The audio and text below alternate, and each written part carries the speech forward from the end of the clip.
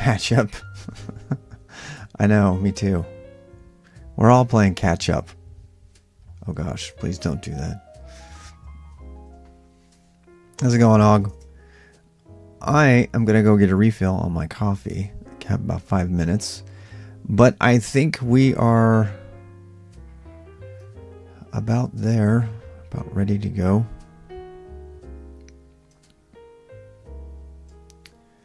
How's it going, Jan?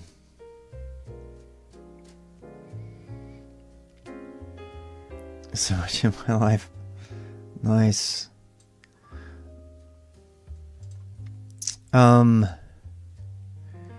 I went ahead and pinned uh, RWXGG as a hashtag as an alternative to 100 Days of Code. Um, had a little run in with the 100 Days of Code guy. Uh, I deleted most of the tweets, but uh, he he wrote a blog post which was published to the entire universe uh, because of Free Code Camp that basically has seven tips for how to be completely and totally dependent on Vim and never be able to use it on anything but your localized computer, which is the exact opposite of what I have been advocating for. And so in the Discord, I posted about it, but I actually critiqued him pretty strongly and said this is exactly the wrong way to do this. And he called me a hater and it exploded into this massive Twitter fight. So I have decided um, uh, to go ahead and make my own hashtag RWXGG and stop using the 100 days of code hashtag, which, if you think about it, is kind of stupid. Uh, yes, this is 112 days of a beginner boost, but the, the the goal here is for you to become an autodidact and to really focus on your learning over time instead of thinking that you're just going to focus for 100 days and you're going to be fine. So, um, I'm actually glad, kind of glad it happened because it it did two things for me. It solidified the need for there to be some good information out there, and it also brought forward how important it is um, that we kind of band together as a community and support each other, and that we learn to be able to disagree without thinking that we hate each other. And I cannot tell you. Thanks for the sub. Um, I cannot tell you how much that frustrates me uh, when people call you a hater for disagreeing with them. And you know, and I, I I've gone a little bit too far sometimes and, and had fun with people in the the way that my generation does, but but uh, but even so, like Linus Torvalds, I've showed you those videos, and this is all before we get going here. I just wanted to kind of rant a little bit, but I just want to say this. So this is what's going down. In case you're wondering, why is Mr. Rob so stressed? Um, that's why. So um, I think that uh, I think we're doing the right thing by you know don't get angry, get busy. Don't get angry, get busy. If you don't like something that's out there, get busy and make something else. Don't complain about it. And so I'm really glad that, that it brought us to that point. Anyway, so here is the. Uh, uh, so here we go. RWX uh, .gg has some new changes to it, which I will talk about at 11:10. I don't want to miss anybody. I am going to go refresh my coffee. Give me one, two minutes, and we'll get there. Uh, but here's today's schedule. You can go ahead and click on it. It should take you to day five. I'll be right back.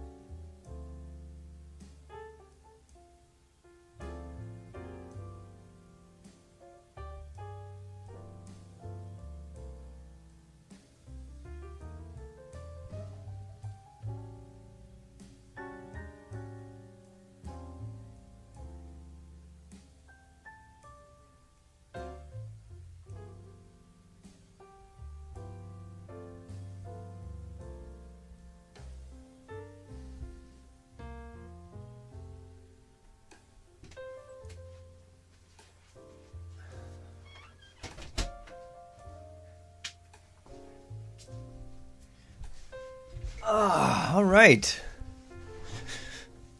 1109 and 1110 exactly. Uh, so let's do this. Um, day five. Day five scares me. I'm just gonna tell you, day five scares me for lots of reasons, but but mostly because it is got all of networking on it in one day.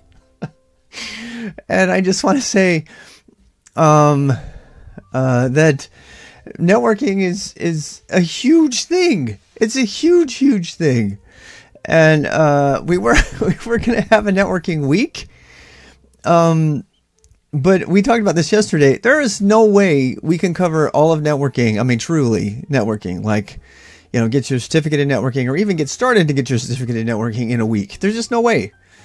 Um, and again, this is a beginner boost. So this is designed to give you the idea enough about where to go. Yeah, Lieutenant Bob and El Ramingo are prepped, and they and um and they are. I hope that they that they put out their material soon because we really need some. Um, in fact, let's start right. Let's go ahead and right away and start with that.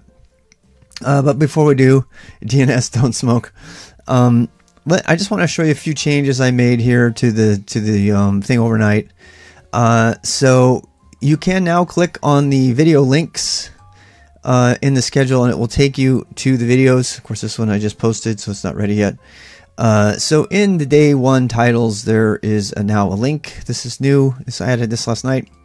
Uh, this will take you to the video. Uh, it doesn't give you any like breakdown, so you can't like click to an exact point in the video, uh, which would be a nice addition someday. I also probably need to make my links so they don't take over.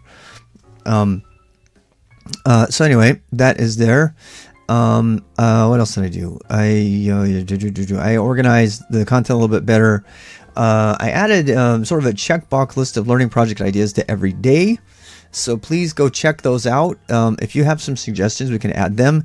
You cannot yet click on them to remember your progress. I am plan on making it so you can click on these, and on the same computer, uh, it will it will just mark it. It's not going to save it to a database or anything like that. I don't need to, to do all of that. This is just, so like for example, if you have this app on your phone uh, and you just want to keep track of your checklist, you could go on your phone and just tap it and you can like check off the ones you've done.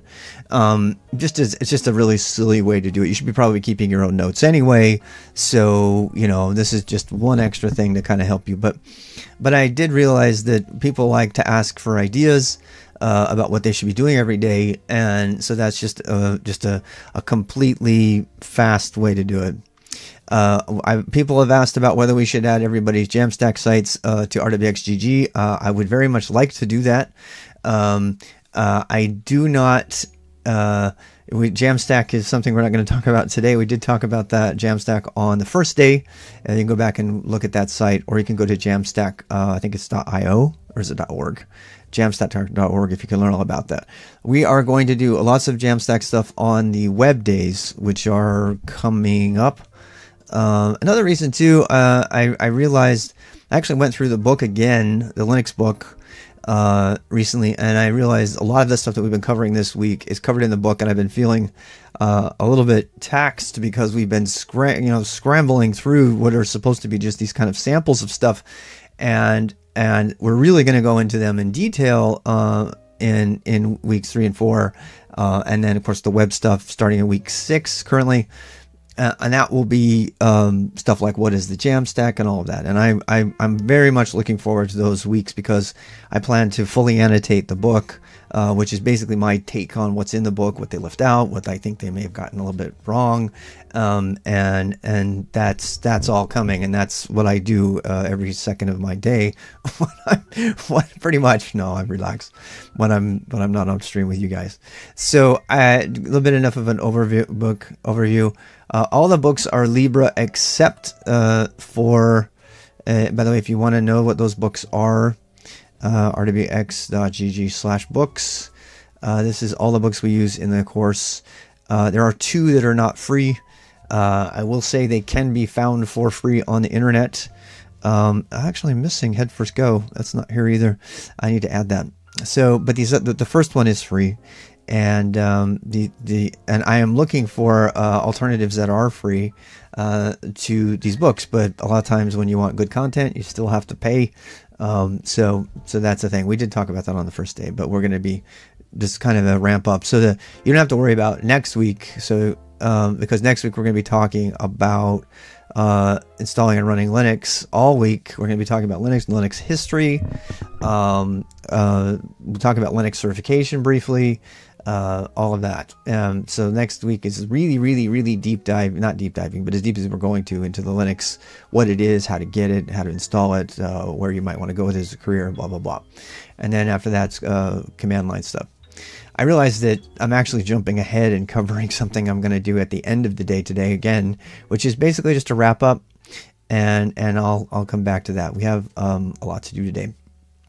All right, so um, and I'm just going to tell you right now, there is no way I can cover everything in networking, and that's why I'm kind of like uh, worried about today. So the best I can do, and and, I, I had to kind of ground myself and say, um, uh, I'm going to come back to, um, yeah, the the best part thing that I can do is I can do for you what I do for the people in my private mentoring sessions, and that is to summarize how uh, your home network works and how your internet works uh, in 40 minutes. Uh, and frankly, when you're just starting out, you don't need much more than that. You just need to know that there's other stuff to go out and look at. And you certainly don't need to read this book. I know it's backwards, but has anybody ever seen this book before? Right? TCP/IP Illustrated. You know what my favorite part of this whole book was? The first page right here. All right. This is actually volume one. There's volume two. Uh, and that's how, in the 90s, this is how you learned about TCP IP, which is the networking protocol of the internet, uh, developed at um, in Palo Alto at Xerox um, uh, with Ethernet, along with Ethernet, which is what is the wires that connect everything. Uh, don't don't don't look at this book. We're gonna I'm gonna show you another book about networking. So before we get going any farther, if you want to deep dive into books, um, I have the, the book that I learned from was uh, TCP/IP Illustrated, and by just ripping apart packets and watching them by writing a packet sniffer. Uh, and during the week of networking, we were actually going to set up a Minecraft server, and we were gonna I'm going to put that as something that I suggest that you do. It's a lot of fun to do that, um, but I don't I don't want to try to cram that in even to a week. Uh, but I'll describe the stuff that you would do to do that. And um, so let's go back here to the books. So uh, of all the books that I've looked at, uh, the the the one that um, that I am the most encouraged to recommend to beginners uh, is Head First Networking, and there's probably going to be lots of recommendations uh, in the chat and in Discord for what good books to read uh, particularly from people who do networking every day, all day, uh, like uh, LTN Rob, uh, Bob, uh, who, you know, that's what he does. He teaches it. Uh, Ramingo, who's a network engineer, and other people in our community who spend most of their days involved with networking. my involvement with networking has largely been getting things to work and breaking into networks and making sure my network can't be broken into. Um, so, so that's that's it. Uh, this book is way too much. I thought I considered it for today for a little bit. Uh, so I'm just going to describe this resource for about two or three minutes and then um, tell you what I like about it, what I haven't really read. Um, I haven't read the whole thing word for word, so I just scanned through it pretty well. Um, and then also, uh, well, after that, we'll I'll just do my little spiel for how you can best get your head around what a network is um, in the simplest way possible by telling stories. so this is again this is another one of those head first O'Reilly books which has lots of pretty pictures and they do it on purpose because it's easier to remember. They make it as silly as possible because your brain remembers silly things. That's how people compete in memory competitions is by associating difficult uh, numbers and characters with with stories and so that's how your brain works. That's what's behind the head first series just in case you're wondering again. And and it goes through uh, the whole thing it says, um, listen to your network troubles, working out with wires. Uh, okay, so this is the one thing uh, I'm not going to talk about today, but you should definitely understand. Um, so the the it says here the top 10 things we didn't cover. Networking is a huge subject. Even this book doesn't cover the whole subject. Um, application layer, transport layer, internet layer, and link layer. Uh, so I'll just tell you what those are really quick. The link layer is how the things are connected, the hardware, uh, how you know how the wires are getting plugged in, how the satellites work, how the Wi-Fi uh, works. Uh, the internet layer is the um, the packets. Everything gets made into basically a little a little um, mail packet package if you want to call it, and it gets sent around every time your your router blinks. It's another one of these little packages traveling around. We'll talk about that more in a bit. Uh, and transport is is what kind of of um, so la- the the la- internet layer is just that the the, ti- the tiny like the, the stuff on the wire and then the transport is is like TCP/IP and the application layer is stuff like HTTP which is like now we're talking about web web you know servers asking questions. So so understanding how these layers build up on each other is really important. Um, is it required for you to become a programmer uh, or to even become a hacker or a pen tester? No you don't need to know it. You need to know the application layer. You need to know HTTP in particular, and you need to know TCP/IP and how it works. What's the difference between TCP and and UDP and ICMP? Uh, those are all um, internet protocols, uh, and they're kind of on the transport layer. Um, so so so there you go. Uh, but I'm just kind of wanted that too much more. But so if you go through this book though, you can see that it does have uh, you know pieces of hardware that are involved. This actually has you suggest you go get um, a tracer, which I think is really interesting. I don't own one. I've never used one. I always just connect things and test them that way. Uh, I'm not a network engineer by any means. Network engineers, by the way, are, are really smart people and they've done a lot of work to understand networking. And if you're a system administrator, the network engineer is just culturally, uh, they kind of like hold themselves above everybody else because, because they are like, you know, they're like the keepers of the network. And you're just a lowly system administrator that use their network. It's kind of funny because there's the same sort of cultural relationship between, let's say, an application developer and a systems administrator in the old days. Um, you know, because the applications developer, may I please put my application on your computer? And you're like, I don't know, is it good enough? How well does it deal with RAM? It's, you know, it's kind of the BOFH. And so then, you know, you, this has all been resolved largely by DevOps, but it's still kind of fun to reminisce. And, and then you have, and then the, you know, the food chain is that, um, you know, the system administrators that have to go to the network guys and say, can I please put this computer on the network? I don't know, man. Did you configure it properly? What's its, you know, are you using single duplex or you know full duplex? Because those AIX boxes you know they they they default back to to, to single duplex and they're really slow on that blah, blah. so the network guys will like talk you know the you know the sysadmins are like please put my computer on the network. And then it, it's it's and then at one point there was operators who actually are in a long time ago there were operators who actually did this this stuff with the computers and nobody did anything without them touching and doing the stuff on. They were the only ones allowed to even touch the computers. So it's just a fun little cultural thing that's been around. The the culture in the industry has changed a lot, but it's it's great to to know that. So if you are a network engineer, you know, uh, or if you know about network things, maybe they will you know respect you more. So this is you know that's what you would see in a computer room. Uh, so here you go. Here's some Cat five. Uh, I suggest everybody go ahead and make a Cat five cable at some point in your, or it might be 6E at this point. Uh, these are the cables that you make that connect everything together. Um, and you don't probably use the cable anymore. In the old days, we used cables all the time. Uh, as uh, wiring up your house is called low voltage wiring. That's all the sound wiring and all the hardware for your house. And it's actually still kind of fun to do this. Um, there is nothing more secure than a wired network. So your Wi-Fi is pretty easy to hack, uh, and this is not. So just that's something to consider as you're learning about this. This is twisted pair, learning how to do these things and not cutting your fingers on them. Um, so I'm going to jump ahead. Uh, just to, I'm just summarizing the book for you. So these are the cables that plug um, your computers and your router into everything. You may have seen them.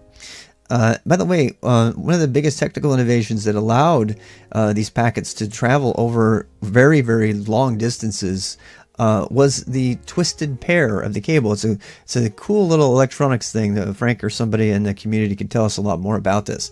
But this is a pretty interesting little little physics bit of knowledge, and I truly don't understand it other than that something about the twisting of the cables um, caused the um, impedance or the, the stuff that would mess up the cable uh, and you know the the, it, the the signal to degrade to be less.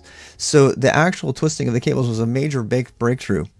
Uh, so, so twisting cancels magnetic fields of each wire. Okay, okay, that's interesting. Uh, the coil order back in the day, me too. So I just, I just think that's a cool little, you know, kind of fun fact uh, about how uh, the internet was allowed to happen. Um, because until they invented twisted pair, uh, it was all coax and other other ways of, of, doing things that were much more big and bulky. And so the twisting of the cables was a, was a, quite a discovery. And, and um, let's see, ele- ele- electromagnetic inter- interference (EMI). Nice guys, uh, but might be approximate. All right, yep. Well, you guys know much more than I do on that. And if you're a beginning and you don't understand it, just just know it's kind of cool that the, the twisting you made the internet happen. so here's how you make the cables. Uh, we're going to zoom ahead here. Um, the twisting on all four pairs is different, not to interfere with each other. Oh, interest. Yeah, four pairs. That's yeah. Okay, so and um, so let's keep going here. This is coax. You've probably seen coax cable. That's the kind that connects your. Used to be how you connected your um, your network. There were different types of networks back in the day. There was one called Token Ring that failed. Thank God, it was invented by IBM, and uh, it was a bad network topology where if one piece of the network didn't work, the whole network was out. Uh, and and this is why Ethernet won. Thank God. Um, uh, and then as we keep going Ethernet is, by the way, the name of the sort of hardware layer uh, that allows the whole internet to happen. And let's keep going back. I was, um, let's see, keep going with the cables. Here's the coax, how things are terminated. Lots of interesting stuff here. I personally want to go work through this book myself because it does answer a lot of the little questions I've had uh, about fiber and about, you know, um, like fixing things. Um, I have a feeling even if you went through this book, you'd be pretty close to getting one of your uh, network certifications. Uh, it's a pretty big book. It's 500 or so pages, so I have to go through it pretty quickly. Uh, it tells you some things that are, are likely to cause problems with your network. I mean, this is just, it's just a fun little book to have. Even if, even, I mean, I, if, if you're in the position to buy it and, and, you know, I, this was actually downloaded, um, you know, having purchased the book, I, I don't feel bad downloading the PDFs. Uh, but this is here you can see like just and it's just lots of little things about how networks work.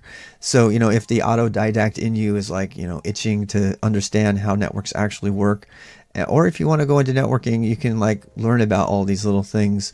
I think this book is a really fun way to do it. I mean, most of the most of the the, the stuff about networking is pretty dry. Uh, it's not nearly as fun as this is. Um, I've never seen anything quite this fun, so it's actually got me interested. I this is the I've always wanted to get. Is this what we call an oscilloscope? Yeah, I've always wanted to have an oscilloscope to just to just own one. I just think it would be so much fun. But um, so I don't know, maybe not be your thing, but if it is, you know, this this is where you go to learn about all these fun things. Um, there's a little bit of crossover with my music interest too, because a lot of this the the physics and you know the explanation of these things applies to to sound as well. Uh, what we got? Uh, uh, no, no, no. This is Headfirst Networking. You'd have to buy it in the United States, uh, or there are PDFs available. Um, but uh, I mean, it's a it's a fun book. Uh, here's the good. They even talk about hexadecimal and binary, which which we, we talk about in other times because that's definitely something. You you have to know that because you know binary is what everything is when it goes across the wire. Uh, you need to know that when you understand like IP addresses. We're going to come back to that in a bit. Um, and so yeah, so this is it talks about Matryoshka dolls. This stuff is really important. This right here, this diagram is probably the most important one. Uh, it talks about how all of that data, all those ones and zeros, are divided up when they travel over your over the wire and uh, they, they, have a they talk about matryoshka dolls, and that's how it it's like having a package inside of another package inside of another package, and that's how network frames work. They're they I'm calling them packets, but they're calling them network frames, which is probably a better term.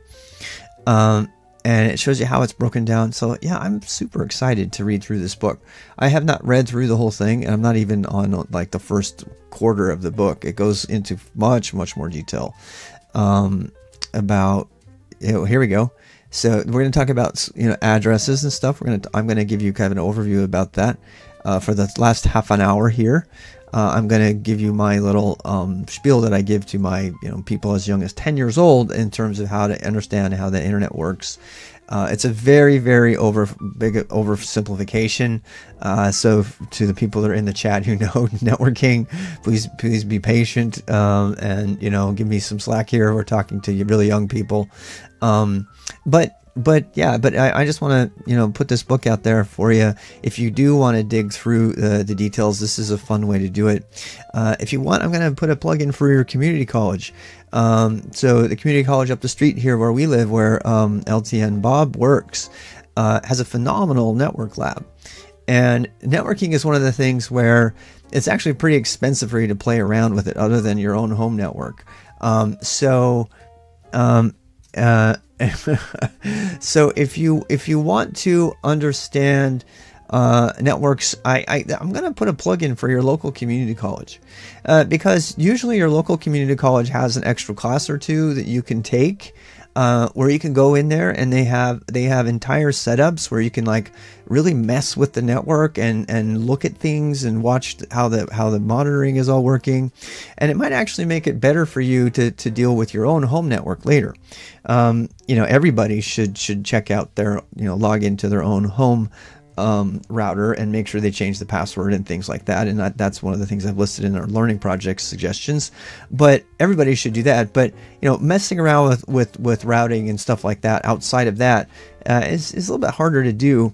Uh, there are some things you can do. For example, you can get um, we'll talk about it later, but you can get um, what's called a, an alpha uh, dongle. I know that sounds weird, but it is in um, it it allow it's a Wi-Fi dongle that allows you to see much much more uh, about the, what's going on on your Wi-Fi network and, and other people's Wi-Fi networks uh, than you could normally. So there is some experimentation hardware-wise that you can do uh, when you're not here. We're going to do this ping command today, and um, and and and this is stuff I'm I'm doing network kinds of stuff all the time uh, when I'm not doing this. Um, because a lot of it is related to uh, to pen testing and security and stuff. The first step, of course, is is understanding what's out there and how to get into it, and that means you have to understand how networks work and network protocols work.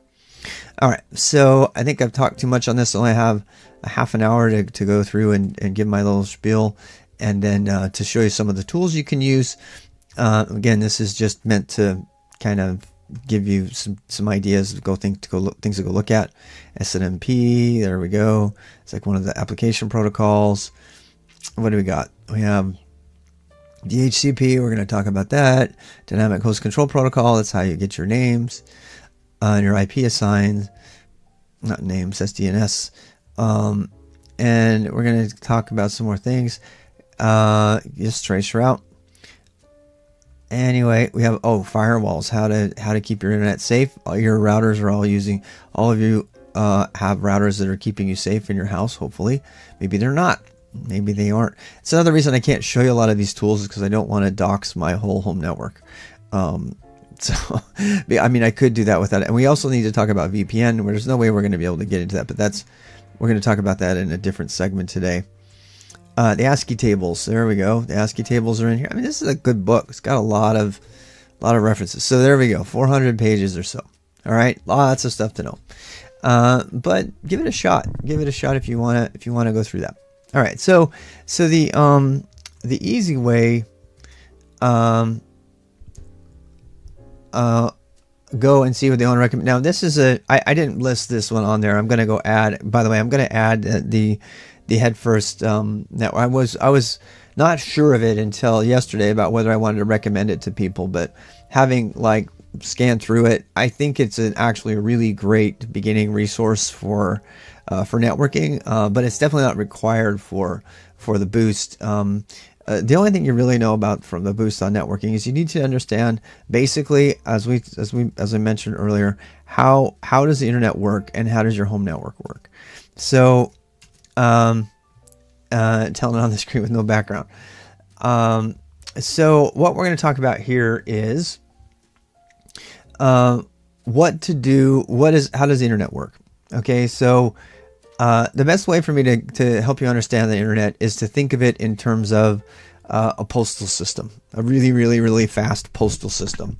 Uh, and I know our, our actual postal system's in trouble here in the United States, but but it's a good way to think of it. And there's many, many ways that it's that it's a bad metaphor. And if you know, you know, but it's but if you're a beginner, it helps you get your head around. So pretend like I'm talking to somebody who's 10 years old, 10, 11, or 12.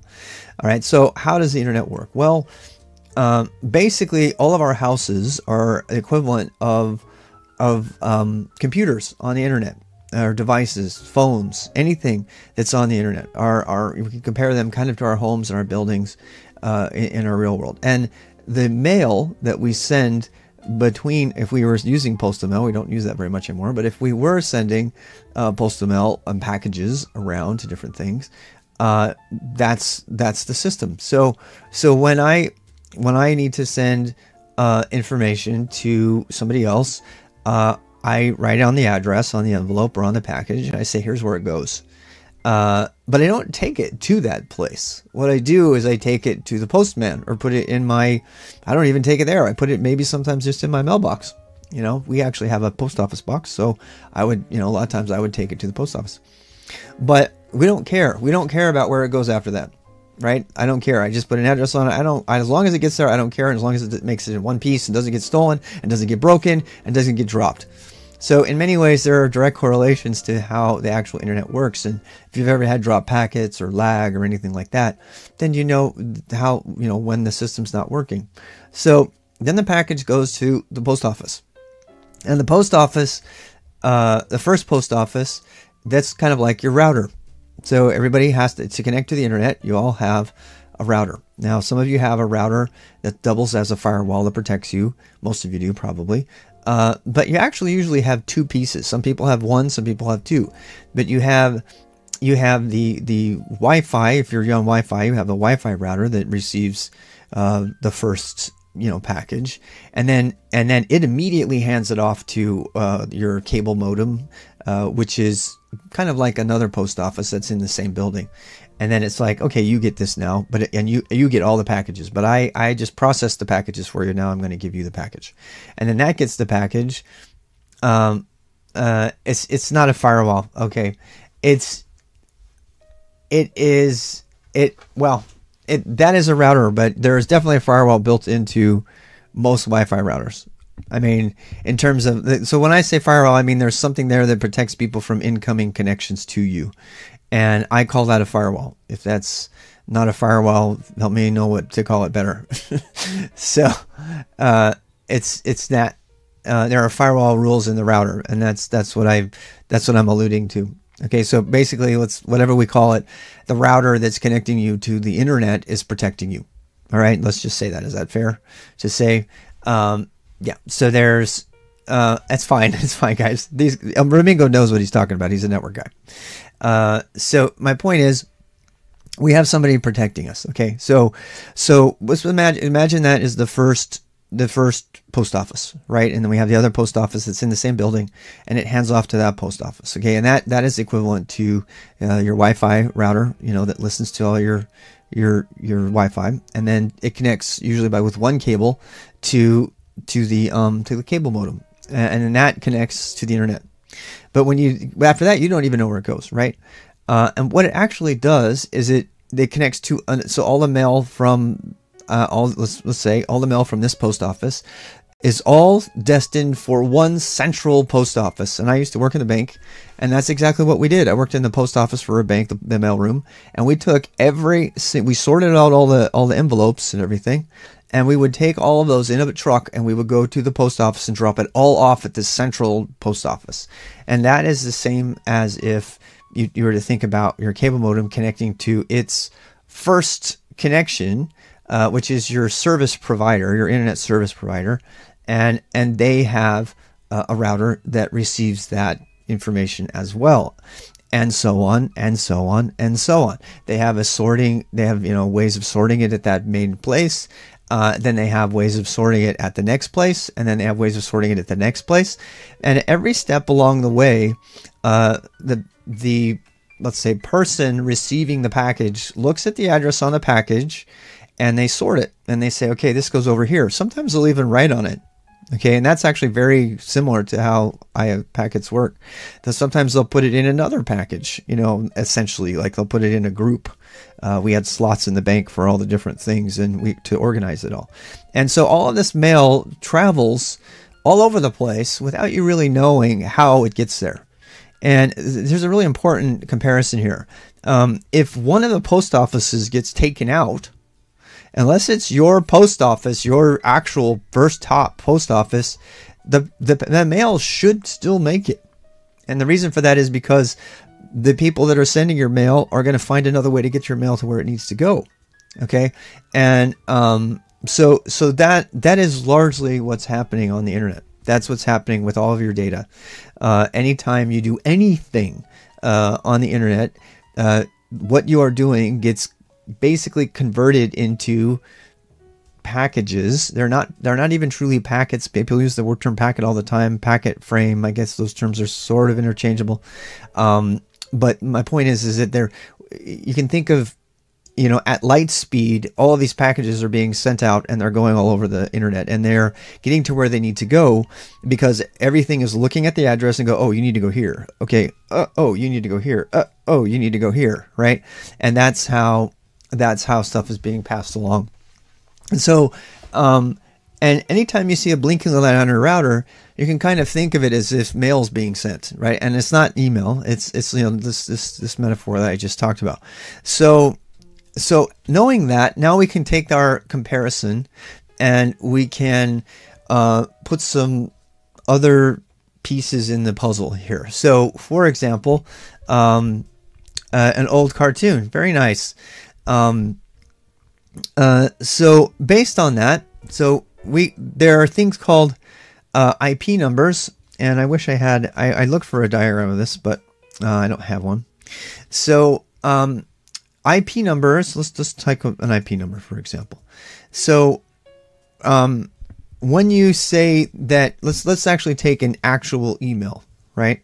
So let's say you're gonna send email to me at my uh, domain, and you the you need a way to look up how to send it. So the address that you're putting on the package is uh, rwx at robs.io. Well, robs.io is just for the humans. It's called a domain name. Okay. So all the websites and everything out there, they're all code domain names. And if you want to get your own domain name, uh, you go to namecheap.com and you go look. I have nothing to do with them, but go search for your domain and see if you see if you like what your domain is. Okay, so this is how you get a website name. This is how you get an email address. Uh, anytime that you're using a name, uh, you're using what's called a domain name. And the domain names are an extra piece of all of this that are helping us be human and not have to just use numbers. And so this is a really important thing you understand about domain names. Every single domain name resolves to one or more IP numbers. And the IP number, the IP stands for Internet Protocol, and the IP number is the IP address, IP number is the number which translates into a bunch of ones and zeros that the you know computerized post office is using to decide where your thing goes next. So, for example, you can look up. I'm going to use dig here. Uh, so robs.io is my domain, and um, so we see here that um, so so dig space uh, robs.io shows that I have an A record. That's a type of address, in the domain name system. The domain name system is a system um, that lets you, um, uh, you know, look up these numbers. Okay, and it happens really fast. It's a really amazing system uh, by itself just to study that. Um, and that's what tells us to say, okay, so anytime that I want to send a packet to robs.io, I'm actually sending it to this IP number. And let me show you. So let's actually try to send some packets. We use the ping program. Ping just sends a packet using a protocol called ICMP, which is is just a protocol designed for for watching the network and monitoring and seeing if it works. And sometimes it's blocked, uh, but but it, it's not TCP/IP. TCP/IP is the really important protocol uh, that is controls most of your communication. Uh, there's one other important one called UDP, which most of you use for your games. And the only difference between TCP and UDP, I know I'm in the weeds here, is that UDP doesn't care about getting an acknowledgement of having been sent. Uh, and you can compare that to mail when you have re- re- return receipt. Uh, you know how you like when you send an email. I mean, you send a package and you say, "I want return receipt," and then in other words, the post office notifies you when it got the package. Right? It's a lot slower to do that. Well, that's kind of equivalent to TCP/IP uh, transmission control protocol, and it what it does is it wraps up the IP packet and says, "Okay, I want I want you to tell me when you got it." It's called a, a or an acknowledgement, uh, and then it comes back and and that can be a problem because what if somebody decides to not answer you? Well, you're sitting here, how long do you wait? So because of that, the TCP/IP protocol is not used where really intense, um, uh, really intense like communication is required, uh, and you really don't care about uh, the answer because there's going to be a new packet before you would even get done asking the question about whether there's you know another packet. So, and that that is um, streaming is a great example of UDP. So it's just like here's a ton of packets. Hey, if you missed one, just draw the next one. Right, we're good. Uh, any kind of uh, real-time gaming or streaming uses UDP. So and um, and that's all we're really going to talk about on that. So there's this. It's kind of like having a, a different way to use the same post office, right? With UDP, you're like, hey, here, just it's like a postcard. If you don't get the postcard, no one's gonna die, right? We're fine. And then and then there's the kind of regular and and then all the other mail is like all return request receipt. It's like I'm gonna send you a package and you're gonna tell me you got the package, or I'm not gonna confirm that I'm not going to stop. I'm going to sit here and wait until you tell me. So that's the different way of looking at it. And then there's this other protocol over here. It's called ICMP. I think it's Internet Control Messaging Protocol, if I remember. And what that is, is it's like, hey, I'm just here. I'm just here checking on the system here. I just want to see who the next router is. I just want to see if you're even out there. And that's called ICMP. So those are really the only, um, uh, you know, transport layer protocols that you really need to understand. Um, and so let's try one. So ping, I'm going to ping robs.io. Uh, and this is going to give me a backend message. Now you should add ping to your list of things in your notes. You got your notes open, right? You should add ping to your list of notes right now. Okay. There is no better command. I mean, there's lots of commands, but there is no simpler, more ubiquitous command to check whether your connection to the internet is working. So let's say you think your internet's down, you think your internet service provider is, is down, or you think your Wi-Fi power went out, right? Well, just ping one of your favorite hosts out there. You know, ping ping rwx.gg. Maybe try it right now, right? Every single thing out there uh, you'll get a ping back if it's out there. It also tells you how fast it is. So if you've ever watched competitive gamers, they have a slang term called ping. Yep, that's a fast one. Uh, uh, I don't think. Uh, can you ping 1.1? I don't think you can ping 1.1. Can you? So anyway, um, but you guys, oh, that's a pretty fast one. Yeah, 888. That's probably your DNS. Uh, Bob Ross of computing. So so here we go. So we're pinging. We're doing a happy little ping. Uh, and we're pinging like uh, 30, 34 milliseconds. That's pretty damn fast. Uh, in case you're wondering, these millisecond times, if, has anybody ever turned ping on?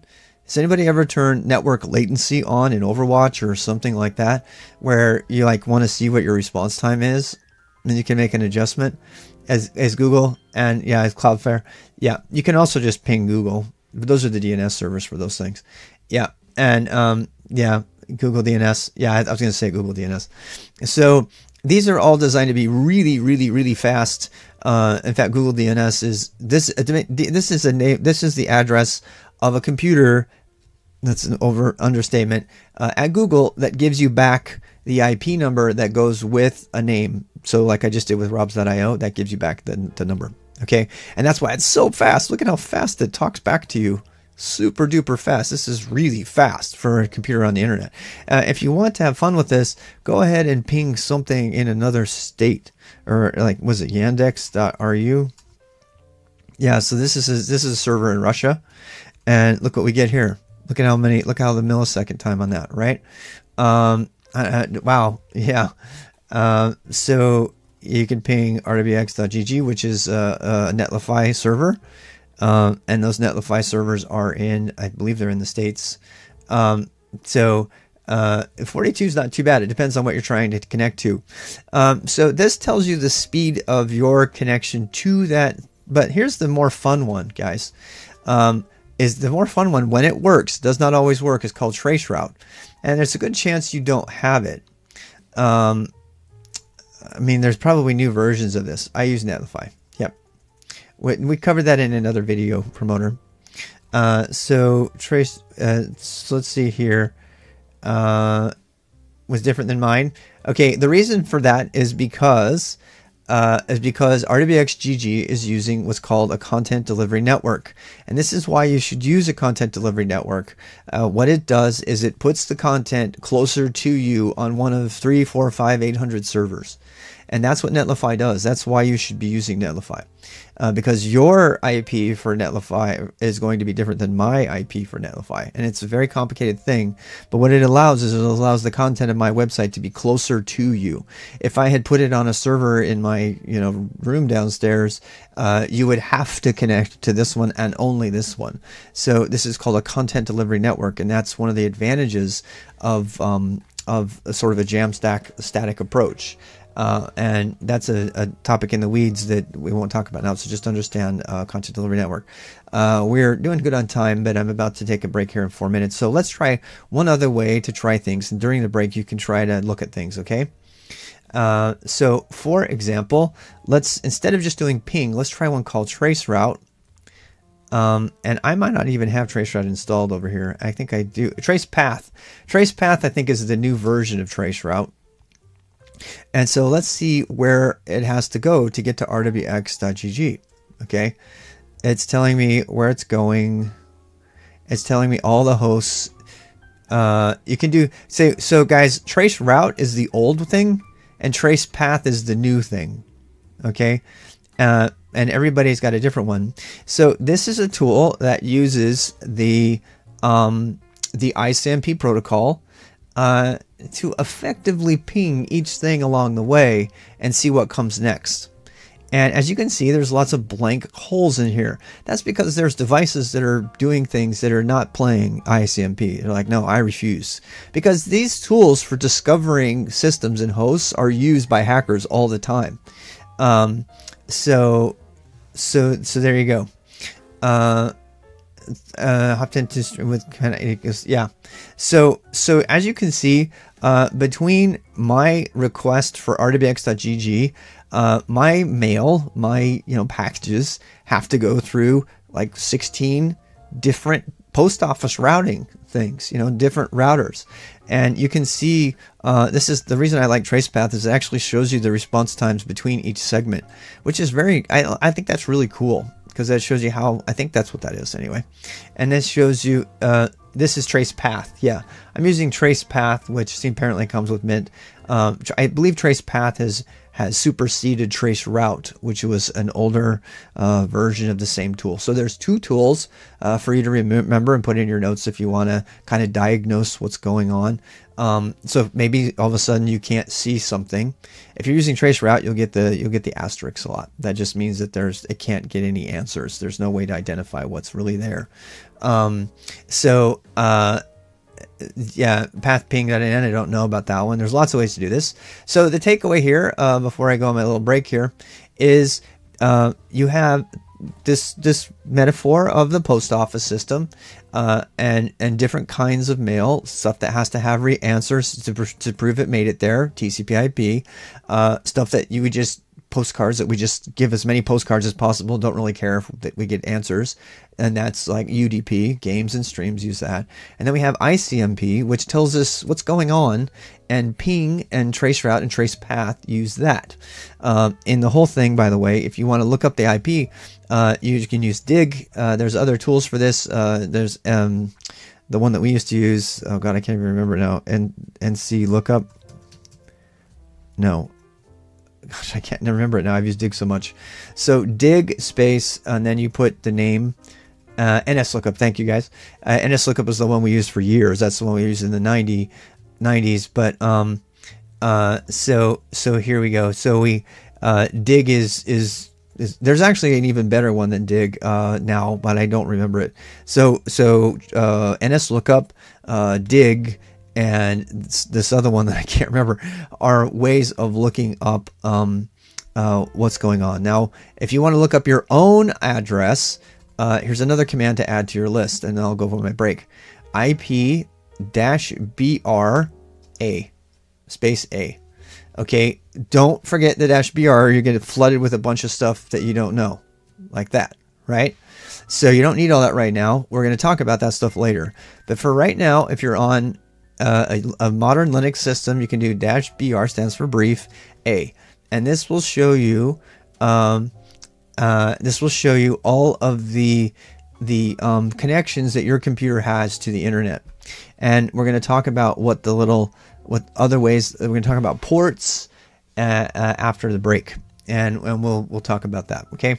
So for right now we're just talking about IP addresses. So there's my internal IP address uh, there is a way for you to look up your IP address on the internet uh, which uh, I don't want to look at right now um, and uh, I'm gonna see if I can actually we'll talk about when I come back okay I'm gonna take a quick break AFK until. So if you guys want to help each other out with all those commands and practice on them, uh, let me know. You, if you don't have tracepath on there, you can add it. So if you want to add tracepath, you can do sudo apt install uh, tracepath. I'm pretty sure, and that should put it on for you. Okay, I'm not gonna do mine, but you can do that. All right. Um, so I am gonna be AFK. I'm going to AFK for 15 minutes. I'll be back at at 12:15, no 10. And is it IP utils tracepath? Thank you. Uh, but help each other out. And we'll we'll cover a, little bit of netstat. Netstat's kind of in the weeds for most people, but we will talk about it. Um, but again, this is just a, a sample to give you guys stuff to look at. And I'll put the fish on since we have the water. SS is its successor. That's good to know. All right. Yep. Netstat is a big part of security too, as well. Yeah. But we're not, we'll talk about it when I come back.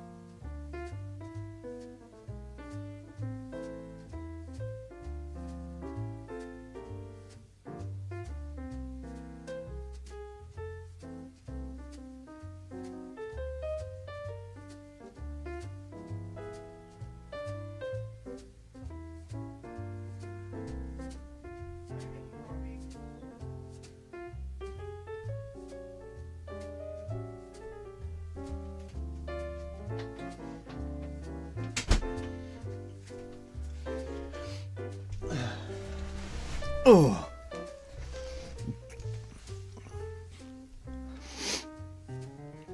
Yeah, be careful with all those what's my IP stuff things. We're going to talk about that.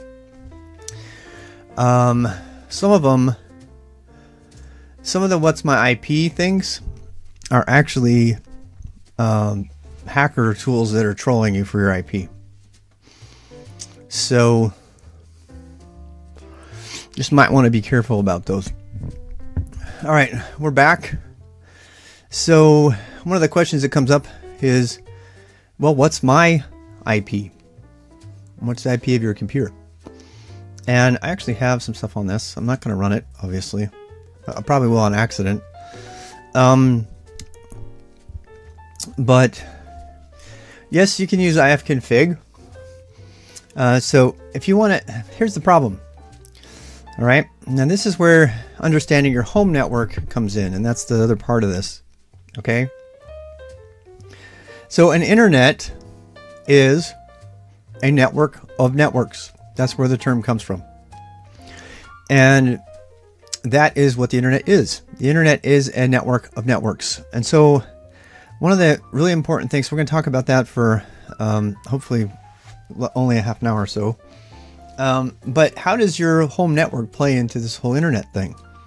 And you can think of everything I just told you about your post office and stuff sort of relates to your own home network, but it's largely different because there's it's more like a building with a mail room downstairs. Okay, so you know if you're a bank with a mail room, uh, all the mail goes to the mail room and it gets organized into the slot and it gets sent back to the person who it goes to, but it never really hits the internet. Okay, so um, so that's important. Um, but and here's how you know that. Because if you look at your own IP, so I'm not doxing my IP here by showing you this, and you could try this IP space dash BR space A. This shows you your IP numbers for your computer on your home network or on wherever you are. And there's one a couple you have to know. This is so you can get the joke uh, there's a common joke out there. You can we actually have a, a, a doormat that says there's no place like 127.0.0.1. And the reason for that is because in the old days, um, yeah, attack. This this IP number is a special IP number that's been given to your computer. It's called the loopback interface, and it's, it's usually got LO as an identifier. And this is your computer, right? So, uh, what is an interface? So, an interface is wow, look at the ping on that. Uh, an interface is a connection to the internet, or a connection to the network, not to the internet. And um, so this connection actually doesn't go anywhere but your computer. So this is going to blow your mind, but you can think of your computer itself as its own network. So inside of your computer, pretend there lives a network inside of there. And this, um, this is even more true when you have a virtual machine. That's what these are. Okay. So these virtual machines are something else that is living on a network that only exists within my computer. So my computer is like a little tiny network all by itself, everything inside of there. And 127.0.1 is the address for that computer to itself. And you can use that every time I go to uh, localhost to, pre- to pre- pre- preview my website, for example. Uh, I go to localhost 3000. Localhost is a built in name uh, for 127.0.0.1. So maybe this um, can dispel some of the mystery for you. Uh, of course, this has got, I have to set that. So, so this represents your computer. Uh, the reason they're joking with you about attacking is because any communication with 127.0.1 never leaves your computer. But that's really, really great. Uh, there's actually, uh, I can't remember where it was, but there was a there was actually I wish I had the link to this. There was actually somebody who deployed an application to 127.0.0.1 to the internet and was wondering why it didn't work. And it was a big professional shing, shingding or whatever. Anyway, so that's that's that number. And there's no domain name for it. The domain name is localhost, and so it goes in. At one point, it was actually called home, and that's where the joke comes from. There's no place like 1.127.0.0.1 put it on a T-shirt, and other technologists you can identify them and see what they what they're talking about. Um, uh, the WLPS this means this is a Wi-Fi uh, interface, and this is a connection to uh, my my network. This is the IP number that that my router has decided to give me, and uh, the way it makes that decision is it uses its own protocol called Dynamic Host Control Protocol (DHCP), and uh, there is one other form of receiving these IP addresses um, when our devices come on the internet. It's called static, uh, but it's very rarely used these days. Uh, almost always, even when the number doesn't change very often, you you're using something called DHCP, and what that is is that means that my my Wi-Fi router um, has decided to give me this number, and that's going to come in later when you need to make sure that that number doesn't change. So, say for example, you want to run a Minecraft server from home, which is scary and dangerous if you don't know what you're doing, but if you were to do that, you'd want to make sure that that IP number uh, could be would not change. Um, so say somebody comes into your Wi-Fi and you let you give them the password for your Wi-Fi and they connect their phone, uh, chances are they're going to get a random new number, and that number will change. That's what's dynamic about it. These other things are the VM nets. These are caused by uh, my VMware, uh, which adds a, a network inside of my computer, and that's useful for for modeling uh, networks. You can actually have multiple uh, virtual machines running at the same time, and you can simulate uh, all kinds of things, including network ARP attacks and stuff, uh, in these tiny little encapsulated spaces inside your computer on virtual machines. Um, yes, uh, so um, there is, uh, but the, the thing I want to show you here, and I don't, I don't, I'm not going to go there. Uh, but if you do a search for what's my IP, uh, if you go to it, Google or whatever like that, it will tell you a number. And I want I'm going to challenge you to go find out what your number is right now. Uh, that number that you get is not this number. You'll notice that they're different. I think, well, well, what's going on here? Uh, and the reason for that is because the IP number uh, that's associated with you is not just for you it's called NAT, Network Address Translation, and you can think of it as being the address to your building, okay, your home. So your home, uh, you have a network, and that network all has its own IP numbers, and they're always going to start with 192 or 10 dot usually. Those are internally reserved IP ranges that are only for internal use. So uh, 10 dot is a much larger range, and therefore it's used for um, companies and routers that have like you know really like thousands, if not millions, of um, of, of devices on the network.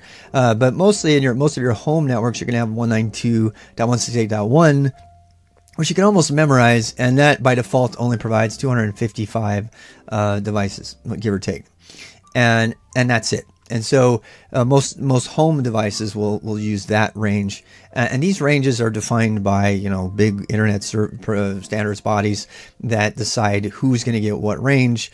Uh, and if you're wondering what's this other crazy number over here, um, this is what's going to save us. We already ran out of IP numbers. We ran out of IP numbers a long time ago. What was it? Does anybody know? I think it was like five or six years ago.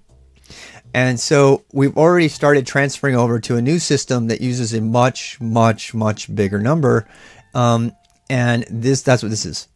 So, and I can't remember the exact number. I think it's in the in the multi trillions. There's like more than the sands in the ocean. IPv6 is called. So IPv5 or the original IP Internet Protocol uh, only had so many numbers. I don't remember off the top of my head what they how many. Um, but it would be what's it to this to the 24th, whatever that is. That's how many it is. Um, and so it's a big number. It's to the 24th. Um, and and the, the, we ran, we knew we were going to run out, so we started uh, copying and making them over to another one. So that's why you see these other numbers over here. And these the, the number the range of numbers for that is two to the 64th, and that's a pretty big number. Okay, so and these by the way, this is all um, encoded with. Uh, uh, bin hex, which counts from 0 to 9, and then A through E uh, for the numbers 10, 11, 12, 13, 14, 15, and 16. So you should learn bin hex eventually. You will. If you do over the wire, you'll need to know all that stuff for Pico CTF. They'll teach you that. So we're not going to get into how these numbers are formed uh, right now, but just know that these numbers are just different ways of representing a bunch of ones and zeros. and that's ultimately what goes over the wire and what the internet computers understand. Um, and if you want to get into the weeds on that and understand it, make sure that you know you learn bin hex and you learn octal and you learn you know that kind of thing. But we're going to cover that at many other topics. All right, so uh, the big takeaway here is what is my IP? And there's lots of ways of establishing that. Uh, I'm going to show you a, a, really safe way that you can do it. Uh, there's a lot of services on the internet. The most reliable on the internet that is just whatever pulls up from Google or DuckDuckGo. It will tell you right off your bat what your number is. And that number, I just want to make a point about this. That number will be different than the number you looked at here on your home network. And that's because the number on the internet is the number for your building, not for your computer. This number is the number for your computer or device. The number on the internet is the number for your building, whether it's your home or any other building. And so the way the, the mail gets routed, the packets get routed, is they, they get sent to the router that's listening at that IP on that you saw on the internet. And that IP is gets the packet and goes, oh, okay, well, let's see where it goes here. And most of the time it doesn't go anywhere unless it started from unless it's an answer a response from something that came from from inside of the network. It's a pretty amazing miracle of a technology nat nat network address translation because what it does is it sends out a packet from a packet from my computer right here that goes to you know the router before it hits the internet. And then it goes out into the internet and then the internet some service in the internet answers back and sends back a packet that's destined. But but my router remembers what packet it was, and it says, you know what? Oh, that's a response to this guy. So imagine if our postal system remembered every, and basically kept track of every single packet that left, package that left, and knew exactly who to send it back to uh, without knowing anything more about it. It's pretty dang cool technology because it comes all the way back, and that's what NAT is. It allows us inside of our internal, you know, house here, our building, our network, to send stuff out into the internet and make sure it'll come back to us without giving it any any real hints. And NAT is is is what is doing that. It's actually keeping track of all that stuff and sending it back to us. And um, it's it's it's pretty miraculous actually. Um, I, I don't know. I don't know how long it caches router packet metadata. I do not know that. Yeah, let's see. Did pay extra for confirmation, right? So, so it comes back to you and you get your stuff the way you want. Uh, so now, but here's the problem. Okay, what if what if somebody out on the internet wants to send your specific computer a package? Can't do it. Why not? Because it doesn't have the router doesn't have anything to go on. So your router gets, let's say, some random, and this is, you know, this is the essence of attacking a network. It's like, let's say some random, you know, computer out there wants to send something to you. Maybe it wants to talk to your computer specifically. Maybe you want to SSH, which we're going to do. Maybe it tries to make an SSH, can't do it because it gets to, it says, okay, I want this IP address. If, even if they know that, they may not know, but if they did, it would get to your home router and your home router would go, I ain't never seen this packet before. I have no idea where it goes.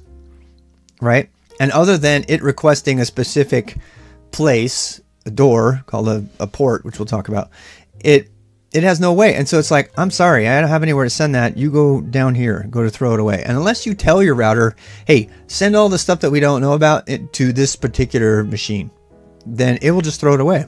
It's like, and that's what, that's what, that's how it's protecting you from unwanted in, incoming connections. Is it doesn't know how to do that. DMZ we won't talk about. A DMZ demilitarized zone. That's a way of setting up, uh, kind of a, a a no man's zone between your router and the connection to the internet, where you can put other devices inside of that space um, that are that are that can be exposed to more security risk. But you're nice and safe usually uh, inside of your home network. Okay, and that's because your router is protecting you, and you really don't want to ever mess with that. This is why you want to make sure that your router, the default admin password, and everything have been changed, because anybody attacking you can attack your router. And that's the most they can attack unless you allow them to attack more explicitly. Unless you go in and say, I you I want all the packets uh, for Secure Shell to go to the server. I want to allow Minecraft to come through. Anybody who tries to connect an incoming Minecraft connection, I want it to go to that computer over in the corner that's running my Minecraft server. Okay, and that's how it does it. And the, one of the ways, um, uh, just one, they show you one way you can from the command line you can show how to uh, look up your IP number. I just don't remember. I don't use it that much, and I certainly don't want to run it right now. Um, so is it? No, it's not IPs. Well, I'll look it up later. But but um, it uses dig. Oh, my IP. There it is. My IP. So this is this is uh, what you can do. It's one. I'll go ahead and send this to you. Um, actually, I'll just send you the whole thing. So if you want this, this is a, a nice safe way to use Dig to look up your IP. Uh, but there are lots of other ways to do that. Um, okay, so uh, the last thing we have to talk about here is ports. Um, so, uh, uh, okay, so when you're connecting, so the closest thing to compare a port to in our comparison here is the door. And the word port in French means door. So you can think of it as the door. So let's say uh, you send a package someplace or someone sends you a package, right? And it comes to your building and you have two or three or four doors. Maybe you have a service entrance. Maybe you have a special entrance for VIPs. Maybe you have uh, the main entrance, right? Uh, and so the postman or the postperson, they, they come to your building and they have a package and they don't know where it goes. They don't know which door to take it to. Okay, so by default they might go to one, but but what a port is is a port is a specification. You can consider it the number above the door. Okay, so in the world, um, uh, uh, yes, and there are a certain. I think there's only thirty-two thousand or so. Um, I think it's was it to the eighth, to the sixteenth. Um, Anyway, these are the ports, and there are specific ports that have been assigned in advance, so everybody agrees on them. For example, port 80. So anytime you ever go to a website, you can put colon 80 at the end of it, http colon slash slash blah blah blah port 80 if they support uh, non-secure HTTPS. So there's two ports that are really important for the web. One of them is port 80 and the other one is port 443 and 443 is HTTPS. That's the encrypted secure version of HTTP that everybody should be using for the most part. So this means that when that package comes to the door of the building, you know, it got there because it knows the IP, it then says, okay, well, where do I go now? And it looks at the building and sees, okay, these there's 443 over here. It's got guards on it. That's for secure. So it takes it to the secure and gives the gives the security door the package. And then and then you know it, it does with it whatever. If it's not, it goes to the main you know HTTP door. Um, if it's uh 22, which is an SSH, that's what SSH uses. It connects to that to that port. And you'll notice something when you do over the wire and you hack and stuff like that. Another one you'll see here is like, you notice how I'm connecting to uh, 127.0.0.1 colon 3000 to preview my website while I develop it. And that's because any port, and this is just a random port that my previewer browser sync chose to use um, to display my web page to me on my machine only, not to other places. And it picked a number above, uh, I think it's 1024, uh, because any number above 1024 is non-privileged. That means that any application out there can just decide it wants to bind to that port. That means listen for new coming connections on that port, and um, without a problem. Anything under 1024 needs root access to your system. And they're having fun with this because port 21 is Telnet, uh, which is an insecure. You should never use it. Uh, is it 1024? Yep and they're registered with I. Yeah, they're also registered. Yeah, a lot of them are registered. Um, 23 is Telnet. I was gonna say 21 21 FTP. So if you want to look up all these ports and you care, uh, which is kind of fun because when somebody tries to connect to you, uh, you can you can open up etc services. I think it is. So etc services has all of the ports in here. Uh, these are different ports that you can use by name instead of instead of um, so you can use colon SSH instead or instead of colon 22 if you were going to do that. Uh, so then it has all of our different ports. Okay, and there's another link. Thanks, Flamingo. So um, this is that's that's been kind of a quote. Uh, anybody know the port for Minecraft? Can they say it off the top of their head? Two five five six five. I've got it memorized at this point. So the port for Minecraft is two five five six five. The port for IRC, anybody know? Six six six seven. You know, um, uh, malware runs on different ports uh, too, and so um, a lot of times when you this is important because when you for security perspective, when you see a lot of things trying to connect to different ports, uh, you'll you'll get to see uh, what's what's going on, and you'll be able to, to figure um, stuff out based on what it's trying to connect to. Uh, and you can also have some fun with this. So um, I will confess that a bunch of my my guys, people, um, were being stopped by their school district from accessing remote SSH servers uh, that we were using to learn how to code and stuff, and they were regularly very bored. Um, but their their school district blocked port 22, which did not allow them to make an outbound SSH connection. And so what we did is we ran an SSH server on a normally a web port. So skillstack.sh for a very long time uh, was port um, was it 4443 and people could could make an incoming connection to uh, to that. And and then their the school district thought it was just more web traffic and didn't care. Uh, and I noticed that they do this on on uh, I can't remember if it's over the wire trying to hack me uh, hack the box or over the, or uh, Pico CTF one of them does the same thing. So you need to understand this idea of ports. Uh, okay. So so that's that's been kind of an overview on networking. Um, I don't know where we are in our time. We're about halfway through, um, and I have a feeling uh, that we're not going to be able to get deeply into uh, VPNs, and but I do want to mention them. It's almost impossible for me to, to illustrate the VPN here, uh, but I do want to make you aware of them. And we'll talk about personal security, and I do want to show you KeePassXC really quick. Uh, I just want to make you aware of it. Okay, so clicking on getting started again, uh, and then we're on day five. So at this point, you have a general uh, idea of how the internet works and how your home networks work. Um, uh, and your the stuff there. There's another address out there. It's called the ARP address or the machine address or the MAC address, and you just need to know about it. Um, what uh, what that is is that is the actual in the old days it was literally soldered or not soldered but like burned into uh, your network device on your computer and that was the the hardware address uh, because the guy the postman or whoever person has got to have some place to the, the package says go to this address but then when they say no no no you need to get to that address you need to go to this to this post office and so in order to tell uh, the person delivering uh, the package to the next place where to go, they had to have an address for that place. And the address for that place is equivalent to the MAC address. And the MAC address is a big old long address, an ARP address. Uh, is it's a protocol. It is it's yeah, ARP is a protocol. MAC, but the MAC address is the old name for it.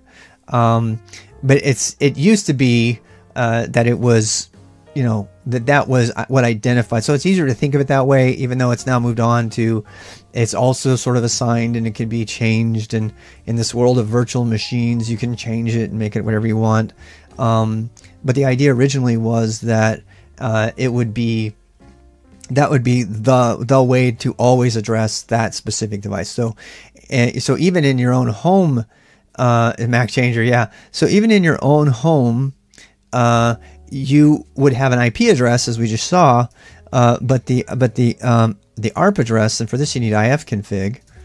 Um, so here we see on my network. So here's the internet address, right? So that's the address within my own little network here. Uh, this tells me how many numbers I get to use. Uh, and this is if you want to send something to everybody. And then we have here, this is the INET v6, the big old long one. Uh, and then we have the Ethernet address or the MAC address or the ARP address. That's they're all named different thing, and that's what this is. So this is this is the address of this computer's device, and each device has a different one. And that is like the definitive way to send a packet to something. And both of those addresses are on the package. You can imagine the package uh, receiving a new stamp every time it goes to the post office. So when it goes, so the first stamp it gets is you need to go to my own post office. So the address of the post office is written on that, and then the post office gets it, crosses out, effectively crosses it out, really unpackages it, but it crosses out that address and writes the address of the next place for it to go. And then it goes to that place, and then that one gets crossed out and it writes the address of the next place to go. Now the IP on it doesn't change. The destination address never ever changes, but all of these intermediate addresses are added to the to the packages that's getting sent along. That that is what is going on with the Ethernet MAC slash ARP address. Uh, okay, when you come when you come along with ARP address for the rest, it doesn't matter. Uh, for those who want to become network guys, it's MAC address. They will not take you seriously when you come along with ARP address. Uh, okay, that's fine. It is MAC address. We'll call it MAC, MAC address. Uh, the, the the problem is that ARP is the protocol, and but a lot of people have been calling it ARP address for a very long time. So thanks for the clarification. Um, Ethernet is what it says here. But MAC address or machine address, we'll just remember that and maybe we won't sound stupid. Uh, Mac, yeah, Mac slash ARP. Yeah. So that's good. I like I like that we have a pedantic network guy in the audience because we need to make sure to get this right. Books call it also a MAC address, right? Uh, but also HA protocols rely on MAC addresses. Okay, fantastic. Um, so so yeah so we'll just call it we'll call it and right here if you're looking at this just know it's not if you look for mac you're not going to see anything. You're going to see ethernet address. And so we'll, we'll call that the ethernet machine address. How's that? And then we'll say that it, it can use the arp protocol to assign it. Um, arp is the protocol for for telling the whole world what machine address mac address goes with a given ip address Okay, so that's that's what's going on there, and I I think that's probably all we should say about that because I don't want to get deeper into the word. If you've ever heard of the term an ARP attack, uh, what it's doing, an ARP attack is flooding the local network with with basically messages saying, I'm trying to keep this simple uh, it's flooding the whole network saying, yeah, I'm the one, I have that address. That's my MAC address. That's my MAC address. That's my MAC address. And the person, the, the, the machine who actually has the machine address is over here and he doesn't answer very much. And so the ARP attack is like saying, Hey, I've got the, I swear, I swear I'm the one who has it. And then, and then, and then it will, um, oh boy, you received 286 gig data transmitting. Oh boy, yes. Uh, and and so the the point is is that that um that we have a lot of I didn't even see those stats before. That's really great. Thanks for pointing those out. That's about that's pretty much my my bandwidth too. So I'm glad that showed that. So a, a broadcast storm, another broadcast. So if you mess with one of the things you can do with your network to mess it up is to make it so that your router doesn't know what's going on you know, and none, and none of the computers know what's going on. They don't know who to talk to. They don't have to talk to the router for everything. They should be able to talk to each other directly. And if you start messing on your local area network by saying, "Hey, I swear I am the one," have anybody ever had a mistake that says somebody already has that MAC address on your network, right? And MAC spoofing, another technique is ARP flooding. MAC spoofing and ARP flooding, which overflows the switches, and then therefore the switches get flood. Yeah. So if you're going to go into pen testing uh, and you know network protocols. These are really important things. I'm sure um, bob would have something to say about uh, creating packet storms. Uh, you can actually really mess your network up with a packet storm by by messing up your switches. This is why the network engineers make so much money. Um, if you and this is again why i would suggest that you either use a vpn and have i mean you have a virtual machine sorry not a vpn uh, or you go to your local community college because they will set up scenarios where you can like break the network by flooding it with packets. Um, is it illegal to spoof a MAC address? Don't know. No, I don't think it is. So it happens all the time. it happens constantly. So a man in the middle attack is usually started by flooding the network with those messages so that the computers on the network think you are the router and all of a sudden they send everything to you. And once they cache that, they're fine to do it as long as they get responses. And then you forward the traffic onto the router, and you look at all the traffic and do whatever you want with it. And then you forward the return responses to everybody. You basically make your computer turn your little device, your, your hacker device, into a man in the middle router, and you can see every single thing that they're doing.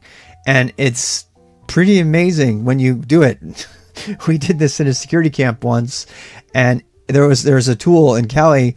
It showed us every single web page anybody on the network requested. It would literally sit there and show us each picture and each page as it re, as it as it was being requested, because man in the middle, and it was because it was a lot of them were unencrypted. So so again, this is why you should always look for the HTTPS in your websites to protect yourself from a man in the middle attack. Um, I can't remember if that was the tool. I really don't know, but it was really amazing. Um, this is also the reason, by the way, coincidentally, that when you set up an SSH key it says, Are you sure you trust this IP address? Because if there's any chance at all that you're being subjected to a man in the middle attack, you're about to give that information to the man in the middle instead of the, the service that you want to use. And so that's actually one of the weaknesses of, of the initial SSH thing. And there was a presentation from a local uh, meetup about how they're trying to get around that. There is a way to get around that through certificate signing and stuff. Um, but it's very, very complicated and not something we want to talk about right now.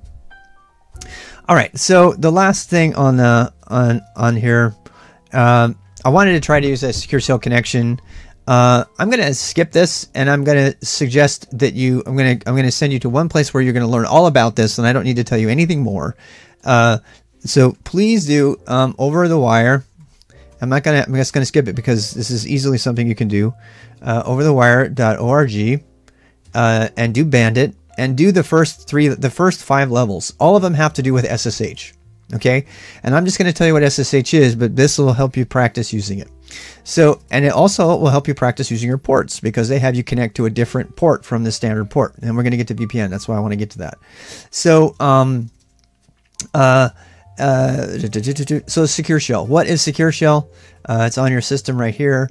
Secure shell is a program for logging into a remote machine and for executing commands on the remote machine. So it's basically a terminal on a remote system. So you you have a terminal and then you SSH into that other terminal and then you can have a connection to that system. So um, I have actually one set up right now. Uh, if I were to connect, so I'm now connected to my local system and I can then exit and now I'm no longer connected. Okay, if I wanted to connect to Pico CTF, I could SSH into Pico and now I have a connection on a system in Carnegie Mellon uh, with how many other users do you think are over here today, guys? OS-1. So, oh my gosh, they're up to 39,000. Last I checked, there were 36,000 users. So this is the Pico CTF server, which you can connect to using SSH. Uh, if you do, make sure you use a VPN because if you don't, it'll give up your IP number. It'll dox your IP number. We're going to talk about that now. Uh, uh, I don't use PuTTY at all. No one needs to use PuTTY anymore. Sorry, don't really need it. War games and then Bandit. Yep. So Bandit is the first war game that I suggest. Um, so over the wire war games slash Bandit. And it's a very, uh, the first few levels are pretty basic. Actually, all the levels are basic. Uh, the last levels are pretty tough though. So go ahead and do that. That'll help you practice your terminal things. It's really fun too. Um, uh, I, you'll see me playing Wargame when I'm not preparing for the beginner boost. I am playing over the wire, Pico, or Hack the Box, and it's really fun. It's just a fun way to use your terminal. Uh, one of the reasons I really like over the wire is you can use Lynx. You can use Lynx to view over the wire. In fact, I probably have some here still. Bandit. Do I have any in my? Nope. Nope, they've all been gone. Bandit is also over the wire's recommended box to start with. Yep. So, and you can you can actually, what I'm trying to say is you can actually do uh, over the wire from Lynx. Uh, I this is one of the best things about this uh, this service. This server is extremely Lynx friendly. See this? I mean, it is one of the best. I love it. I love it. In fact, they have contributions. When I start to contribute um, ha- uh, uh capture the flag kind of games eventually, this is where I'm going to contribute them because they have the good sense of not making their site dependent on JavaScript, which I really hate about Hack the Box and Over the Wire. They're beautiful interfaces, absolutely spectacularly well done, but if, if I don't think it's needed, it's just a war game. You don't need it. Uh, Lynx run slow to you because you have something un- misconfigured. Uh, that, that's it runs in nanoseconds for me, and it never has. Uh, make sure you're running Lynx. Um, but that if you if you do Lynx over to over the wire like that, and I mean that took a few seconds. That's that's that's the opposite of slow to me. And there's something else going on with your network. You probably need to look at it. Maybe you have an old version or configuration that's off. Make sure you try that configuration I have too. It's turned off some of the other services. All right, so uh, let's go back to, and we can help you in the in the in the Discord if you need. So, uh, so that's all I'm going to say about that. Uh, um, the, they're all saved, and if you go to rwx.gg, anybody who's missed the boosts, go to rwx.gg uh, and go to click on the schedule and go to day one, and the videos are linked from here. Uh, the videos are linked from here in day four. You click on the TV, you can go watch the video for the day, uh, and those will be recycled out as we go through. All right, so SSH here we have practical SCP. So SCP is a way of transferring files uh, that uses SSH. So I have, let's say I wanted to take my EEX program and I want to put my EEX program on my Pico CTF system. Okay, so I can do that. I can do SCP uh, EEX uh, to Pico. And um, I have to have put a colon in there, I think. And that's going to make a copy of it and put it over on the system. And I SSH back into Pico and um, if I do an ls over here, take a while, but if I do an ls, now I have the EEX program. So the EEX program is on the remote system. See how fast that was? Uh, in fact, SCP is definitely a must have in your toolset because it's a way of copying them back and forth together. Uh, uh, rsync with SSH uses SCP. Um, essentially, it's essentially the same thing. The only difference is rsync is um, changing the, um, you know, keeping the the files uh, synchronized in terms of like an entire directory, uh, or if you want the permissions to match the deltas and that kind of thing. Uh, I'm I just use SCP for almost everything. If you're setting up a backup, if you're setting up a backup, then definitely use rsync. Um, but but yeah, curl does not upload files as far as I'm aware. Curl is I've only used I've only seen curl used for downloading stuff right? So, and it's by the way, curl is also from a public system. SCP is for connecting to things to which you have SSH access. Okay. Uh, okay. So it's a nice thing, nice comment from Ramingo on DualStack. Um, uh, we're not gonna let's see. We we covered DNS, which is the name. I think we covered everything on networking. So if I missed anything, feel free to ask. Uh, this guide is kind of what's keeping me on track here. Um, we uh, I, I actually moved Lynx uh, to today, which I'm going to skip because we covered it yesterday. Um, I think I'm probably going to move it back now because I can't find enough places for this. Um, if you're having any trouble configuring Lynx, uh, I'm probably going to need it. It's going to need its own video. I did make a video for it already. Uh, and it's called the Terminal Browsers for the Win. It's on the YouTube site. Um, you can practice setting that up. Um, uh, I, I need to skip through it though because we're running out of time, uh, and then we can come back and review things that people have questions on. Um, and what do we got here? Oh, personal privacy and, uh, and saving. Okay, so now that you know uh, how to see things out there uh, and find IPs and stuff, well, why is it bad for me to know, for somebody to know my IP number? Well, the first step of hacking any system is knowing where it is. And so giving up that IP number, this is why it's a banning offense for somebody to post an IP number into my chat. And they've done it. People will think it's funny to, to post somebody else's IP uh, to the middle of some random Twitch thing and say, oh, hey, go attack this person. Uh, it's so easy to break into systems these days because most of the routers are not configured. When's the last time anybody here has updated their router? You know, um, and it's so easy to break into systems these days that that it's it's kind of irresponsible to give up somebody's uh, there you go IP number uh, to to everyone in there that is making fun because that's not an actual internet number. Uh, yeah, yeah, I know they're saved. I know, and I have to go change this thing. Please don't hack me. Uh, just I'm just gonna put that out there again. Please don't hack me. If you hack me, I will stop doing all of this and go back to doing whatever I want to do. Um, and then if you want to test me on that, that's fine. But I, I'll tell you this: if you do hack me, I will find you. okay, so just don't. Um, so uh, also the the the the virtual private network. So let's talk about virtual private networks for a second.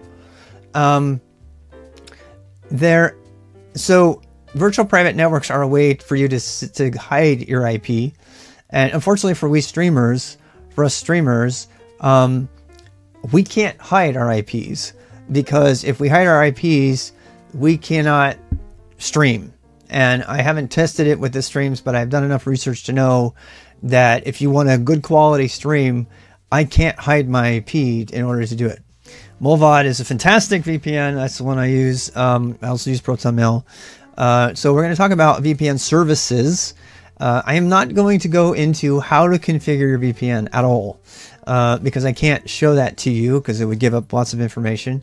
Uh, and it would also just expose too much about how what I use. The fact that you already know that I use Mullvad and Proton Mail VPN has defeated the purpose of using a VPN for me. And I'm willing to take the hit for the community. But I want to tell you right now don't tell people what VPN you use. Okay?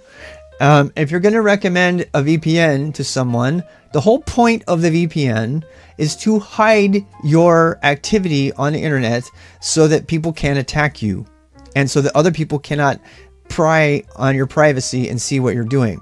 Now, I'm not there's look, this is okay. So so so there's there's there's basic privacy which keeps you from being attacked, you know what I mean? And then there's secrecy. And I want to I want to make a point about this and before we go here, I'm actually supposed to finish in 4 minutes. Uh, and you guys can debate these topics. There's a difference between privacy and secrecy. Privacy is what keeps freedom alive. It's what keeps people alive. It's what keeps journalists alive. It's what keeps people during dissident times alive. Privacy is a good thing.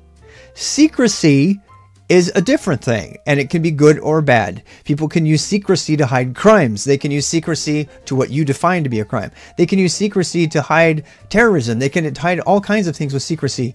Please stop conflating the two. People are saying, oh, well, you got anything to hide? Don't got anything to hide. You know what? Neither do most journalists all over the world. But you know what they're hiding? They're hiding the fact that they are broadcasting the truth. And if all of us do not stand up for privacy, our world will be destroyed because the people who want to control the world will continue to dominate it. So it's very important. And if you don't, if you want to watch a video on this, I'll put it in the in the the, the learning projects. But watch the video from the guy who made ProtonMail. I forget his name now. Uh, on TED, and he talks about that we will not even remember what the word privacy means in five years if we don't act now. This is why, Andy Yen, thank you. This is why it's so important that you take a moment to ask yourself the question: Do I care about privacy, and why should I care? for everyone, not just for you, okay, for everyone, for the people all over the world. And the reason that privacy is, is a problem right now is that people who who practice privacy are automatically suspected of of hiding things in secret and so they become suspect and that actually also makes it a reason that you should not disclose to people that you're using a virtual private network you shouldn't even tell them you're using one. Now, we should assume everybody's using one. But if you tell them that you are using one and that you're using one and it's a particular type, anybody who's watching you who knows you now knows if somebody wants to violate your privacy, let's say whether it's an illegal, it's a, it's a mob, a hacker mob, or it's, you know, your government, how are they going to violate your privacy? They're going to find out, well, he just said he uses this VPN all right, let's track all the VPNs within that radius for a 100 mile radius. This is how they caught every hacker. Let's let's track all the, the, the VPNs, people that have used that VPN from every coffee shop within the last you know year. And they triangulate that, they centralize their search and they catch people. This is how the NSA and everybody does it all the time. They regularly catch you. And let me just say one more time if you think you can be anonymous, you should stop right now. You can do your very best to protect your privacy and to make it hard for people, but somebody who wants to find you will find you. They will find you. It's almost impossible for you to hide yourself. The level of spycraft required for you to truly hide your identity and to hide your activities is monumental. And I guarantee you there's nobody watching this stream right now that has any clue about how to properly save their their, their privacy and, their, and, and to remain anonymous. There's just the, the amount of effort that it truly requires to do that. And and the, the people who get who get busted all the time, they're they're getting busted because they think that they can actually they can actually do this. Yeah. So so they like, oh, I'll go to the coffee shop and I'll use my Mullvad VPN. I'll be sneaky. No, dude, that's like kindergarten to catch that. It's so easy to catch that. So yeah, if you you know, even this thing isn't safe. Okay. Look, what I'm trying to tell you is you know, you can do your best to advocate for privacy, and I think you should do that. I still think you should use a VPN. I think you should do all of those things.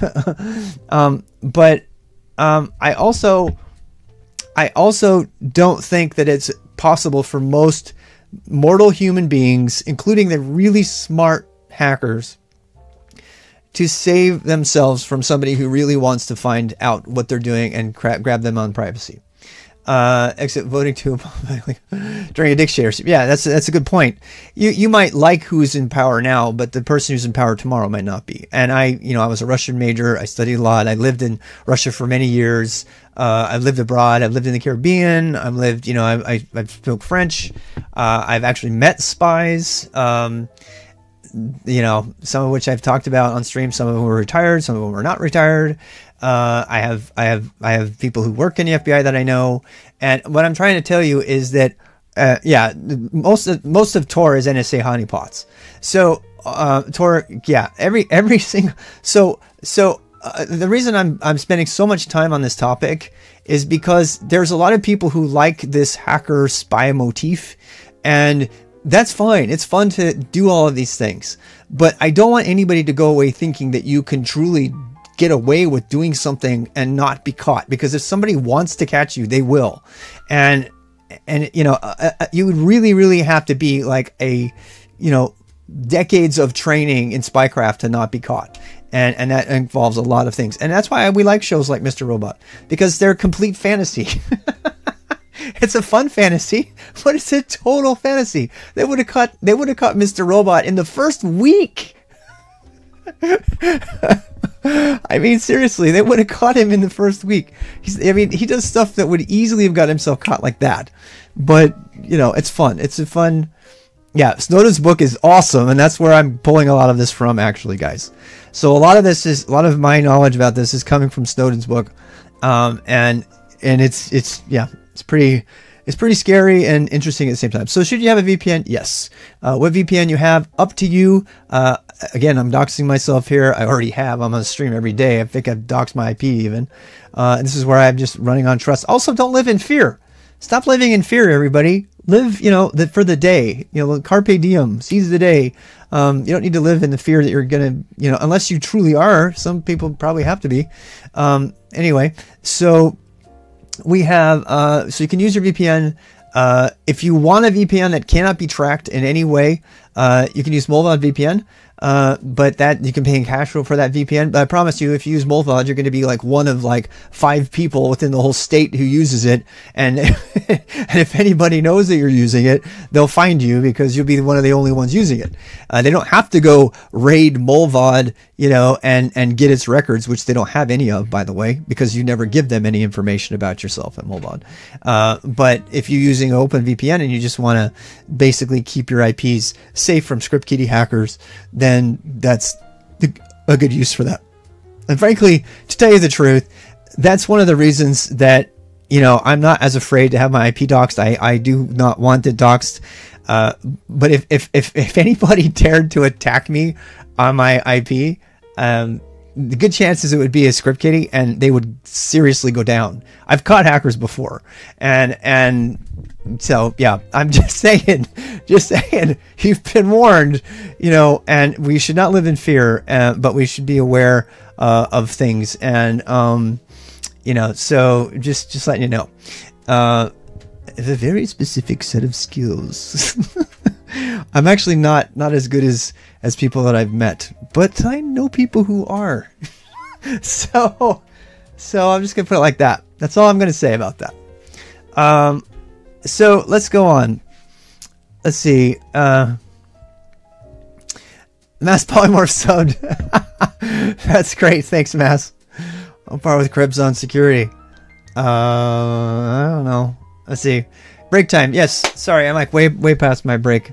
Um, uh, and then uh, we're gonna do. So yeah. So the VPN again. Uh, and KeePassXC. Uh, I am not gonna set KeePassXC up on the stream. Uh, KeePassXC is a rather advanced thing to use. I do strongly recommend it. Uh, and I'm going to leave it up to you as an exercise to, to practice using it and and and do that. Okay, and uh, I do need a break.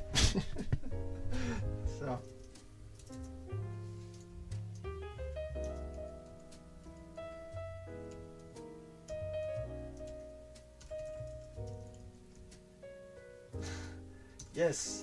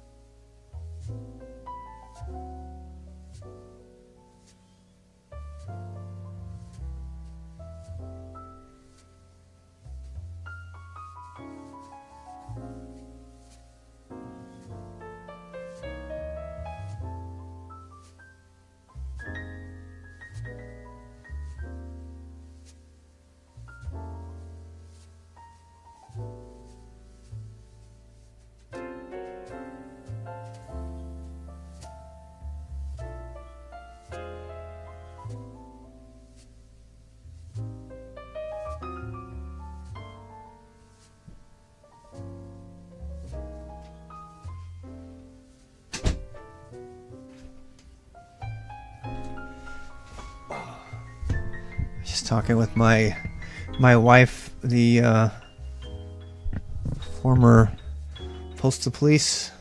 We are talking about all this post office stuff and all the security stuff and the privacy stuff. Ah. Okay. The most comfy. Two Proton Mail emails. One is for recovery, one is the other. Um, I, actually, if you um, pay the five bucks or whatever it is to get Proton Mail, uh, you can use several of them. And I don't mind sharing the strategy I have of using. Hey, Gabe. Of using um, one uh, address for things that I don't want people to guess, um, and then another one for uh, public, and then I have uh, another one that is secret, which uh, I don't tell anybody. I mean, you know, so uh, and that that one is used for authenticating against against things that um, I really really don't want anybody to know about. Uh, let's see. Major breaches in state agencies. Yes. Yep. Yep. Yep. In fact, you can see that my my wife was just telling me that she was no uh, she was um, notified of a of a breach on uh, her credit report. So your credit report uh, sometimes contains, even though the credit agencies themselves got breached, one of the biggest breaches in history. Um, everybody's information from Equifax was uh, made public. Um, actually wasn't made public. It didn't show up anywhere, but it was it was compromised. To this day, they don't know where it is. It's kind of an interesting uh, rabbit hole if you want to study that. Uh, you know, one of the biggest uh, databases to ever be breached, and none of the data ever showed up on the dark web at all. So people are like, "Well, what's going on? Why isn't this stuff been made public?" Any other kind of breach would show up immediately for sale. Um, so lots of there's one article I read that suggested maybe state actors involved. Uh, that are using it for recruiting. I don't know interesting stuff. Anyway, let's go back to yeah. Yeah. I actually that's that's my theory. I have nothing to go on. My theory is that China breached Equifax. Did you you know what else I read? This is just the last two days. Um, you know this whole thing about ports and everything. Start up start up a SSH server on port 22 on, on DigitalOcean or someplace and log all of the attempted connections by IP. And then ask yourself where those IPs are coming from. Almost all of the uh, you know bots that are trying to connect to things are most in the states anyway. Most of them are coming from China. And from this is anecdotal. This is just what I every time I can run into somebody who's talking about all the stuff that's getting logged. Uh, it's getting yeah. Tor China network is is is connecting. So um, yeah. Anyway, uh, yeah, some, yeah, you can, yeah, you can use Lynx to bypass. I actually made a video on that. A lot of times you can use Lynx to bypass the JavaScript that's gonna put the paywall up. That's not hacking. All right. Um, uh, learning to learn. So this is kind of a, a, fun time. This is just the last 40, 50 minutes. Um, and uh, I had a whole week defined for this before, and um, so I want to shift gears a little bit. I know this stuff is fun to talk about, um, and I really love the security topics. You know me. Um, in fact, I do hope that many of you will take on your skills that you learn from Beginner Boost and consider careers uh, in the security field. Um, as we've seen in the stats that I showed you on target occupations, uh, you can go to occupations on rwx.occupations and you can see that security analyst is the number one fastest growing, fastest needed, uh, you know, and greatest need uh, security profession. I do hope uh, that a lot of you will take your beginner boost skills and pursue a career as a security analyst in some form. Um, that's my my hope for the world is that we'll start to see more people uh, doing this. Somebody on Twitter just released a book called Hacking for Dummies that is flying off the shelves, according to the author. And he's like, wow, I didn't realize what a great demand there is for this information. Um, and I don't believe it's to hack people. I think it's more about uh, becoming, uh, you know, a pen tester or becoming a forensics person or whatever. Uh, software developer, of course, and then web developer. So, so as we kind of wind up the week here, InfoSec is very stressful. Uh, it takes, and it's a lot of hard work. Um, and it takes the kind of skills that are not the same as sitting in a room and coding. Um, actually watched um, our our good friend and streamer who I cannot remember right now, so I'm going to type his name. Uh, uh, was it Primean, uh, who works for Net uh, Netflix. I don't see him on right now. It's the Premium. Premium. You guys know I'm talking about, right? And um, anyway, uh, I was reminded that uh, there are jobs for yeah, Prim- Primeagen, Prime Primeagen, yeah, the Primeagen. He's he's really fun. He's really really fast coder, by the way, much faster than me. Uh, I, am gonna have to say he's not as deliberate as I am, uh, but he's, he's he's really fun to watch, and I really appreciated him rating me the other day. Uh, but the the reason I bring him up is because he's a good example of somebody you can watch who codes all day, every day in one language, and he's working on performance. Um, and so there there is a need for that. There definitely is a need for that. But that is a different set of skills uh, from you know the hacker mentality where you're constantly figuring things out and thinking about alternative ways of doing things uh, and so this um, yeah he's got you know his he's okay just be careful about his vimisms he has a lot of vimisms and if you don't know what a vimism is go to rwx rob rwx.gg sorry and then um, slash vimism and look, uh, I'm my, if you're going to use a Vimism, just know you're getting what you're getting into. You're basically turning VI into Emacs. And as soon as you do that, if you want to use just VIM one system, great. Uh, but you are robbing yourself of the muscle memory that'll work on all systems everywhere if you want to maintain that focus. Just know what you're getting into. Um, I, I somehow get, I, a lot of times get triggered uh, by people who use VI like Emacs because it defeats the purpose to me. Um, but if that's your approach, I suppose that's fine, and I'm kind of backing off on on judging it as harshly as I have the last couple days. Um, so anyway, I just know what you're getting into. Um, so I, you know, if you if you are if your brain is such that you can know that you're if you're going to use visual mode and all the fancy awesome things that Primeagen uh, Primeagen uses, and it, by the way, he's made an entire game. He's making a whole game about playing VI that uses the console only using, and he's writing the entire thing in TypeScript. Uh, it's a really cool project uh, I, I, I was kind of joking with him. I was like, I just want everybody to know, take a moment here and look at how dense this TypeScript is. Because it is just as unreadable as bash code. And I was like, oh, so yeah. Yeah. So it was just, it was just really, really fun. I really enjoyed watching the stream last night. Um, and I, but back to this idea about what you're going to pick as a job and learning to learn and becoming an autodidact. Um, and there's been a lot of conversation on the stream about this, and there will continue to be conversation about uh, learning to learn. In fact, every Sunday um, from 11 to noon uh, is a mentor's coffee, uh, and Scream and I and a bunch of others uh, get on Discord and we talk about mentoring. We talk about being a mentor. We talk about um, you know, how to mentor. And it occurred to me this week that because we talk about it every week, I didn't need to spend an entire week talking about how to learn. And, and as long as those who want to tune in uh, can kind of explore options for themselves about what that means for them um, and what is an autodidact. And so uh, I'm gonna I'm gonna go back to a more minimal approach to to to this and I I'm in many ways I'm pulling myself back on a lot of things because I want to let you learn it. I don't want to be the guy telling you what it is. I want to show you where it is and let you discover it. I don't want to rob you of the fun of learning what a thing is. Uh, it's I'm sorry, it's 11 it's 11 to 12. It's 11 to 12 on Sundays. And it, it will start going up on YouTube. Our last one is up. Uh, and it's more of a talk show. Uh, we're just all talking in there and exchanging ideas. We had a really great one last week, by the way. Og was on there and Scream was on there, um, and um, that's a couple other people. Uh, I don't lock down the Discord, so we can just anybody can come join in and tune in and share their voice. Um, we get some educators there during that time as well. Uh, so so yeah. So let's see what else we got here.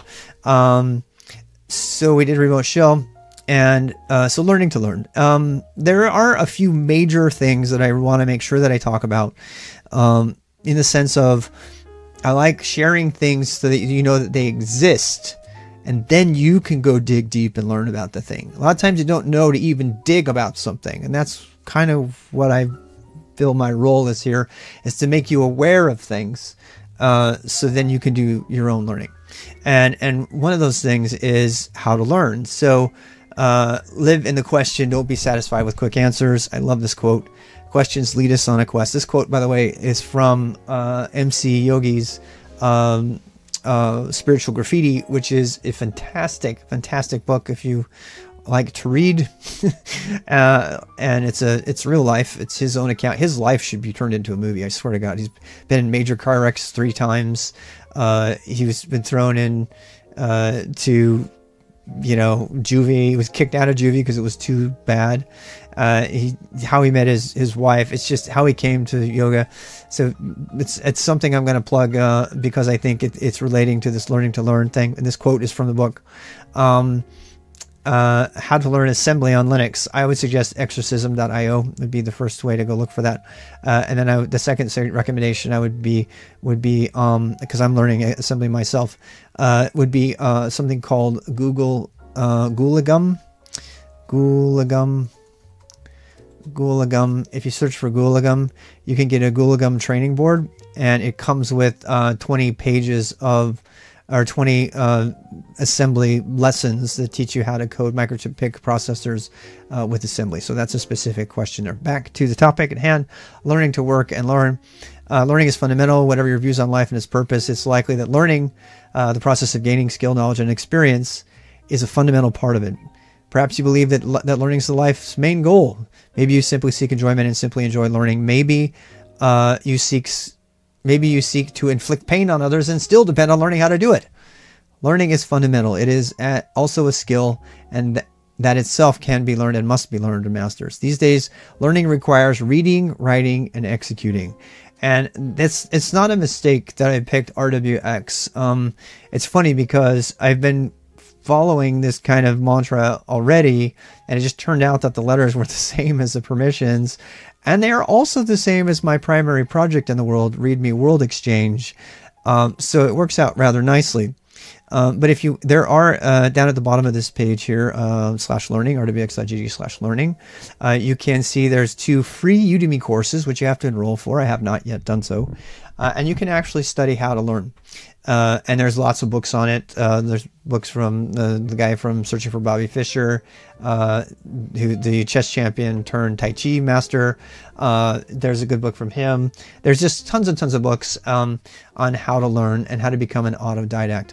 And um, but that's you know learning that is for you. I will suggest though that um, the the X RWX actually happens in kind of reverse order.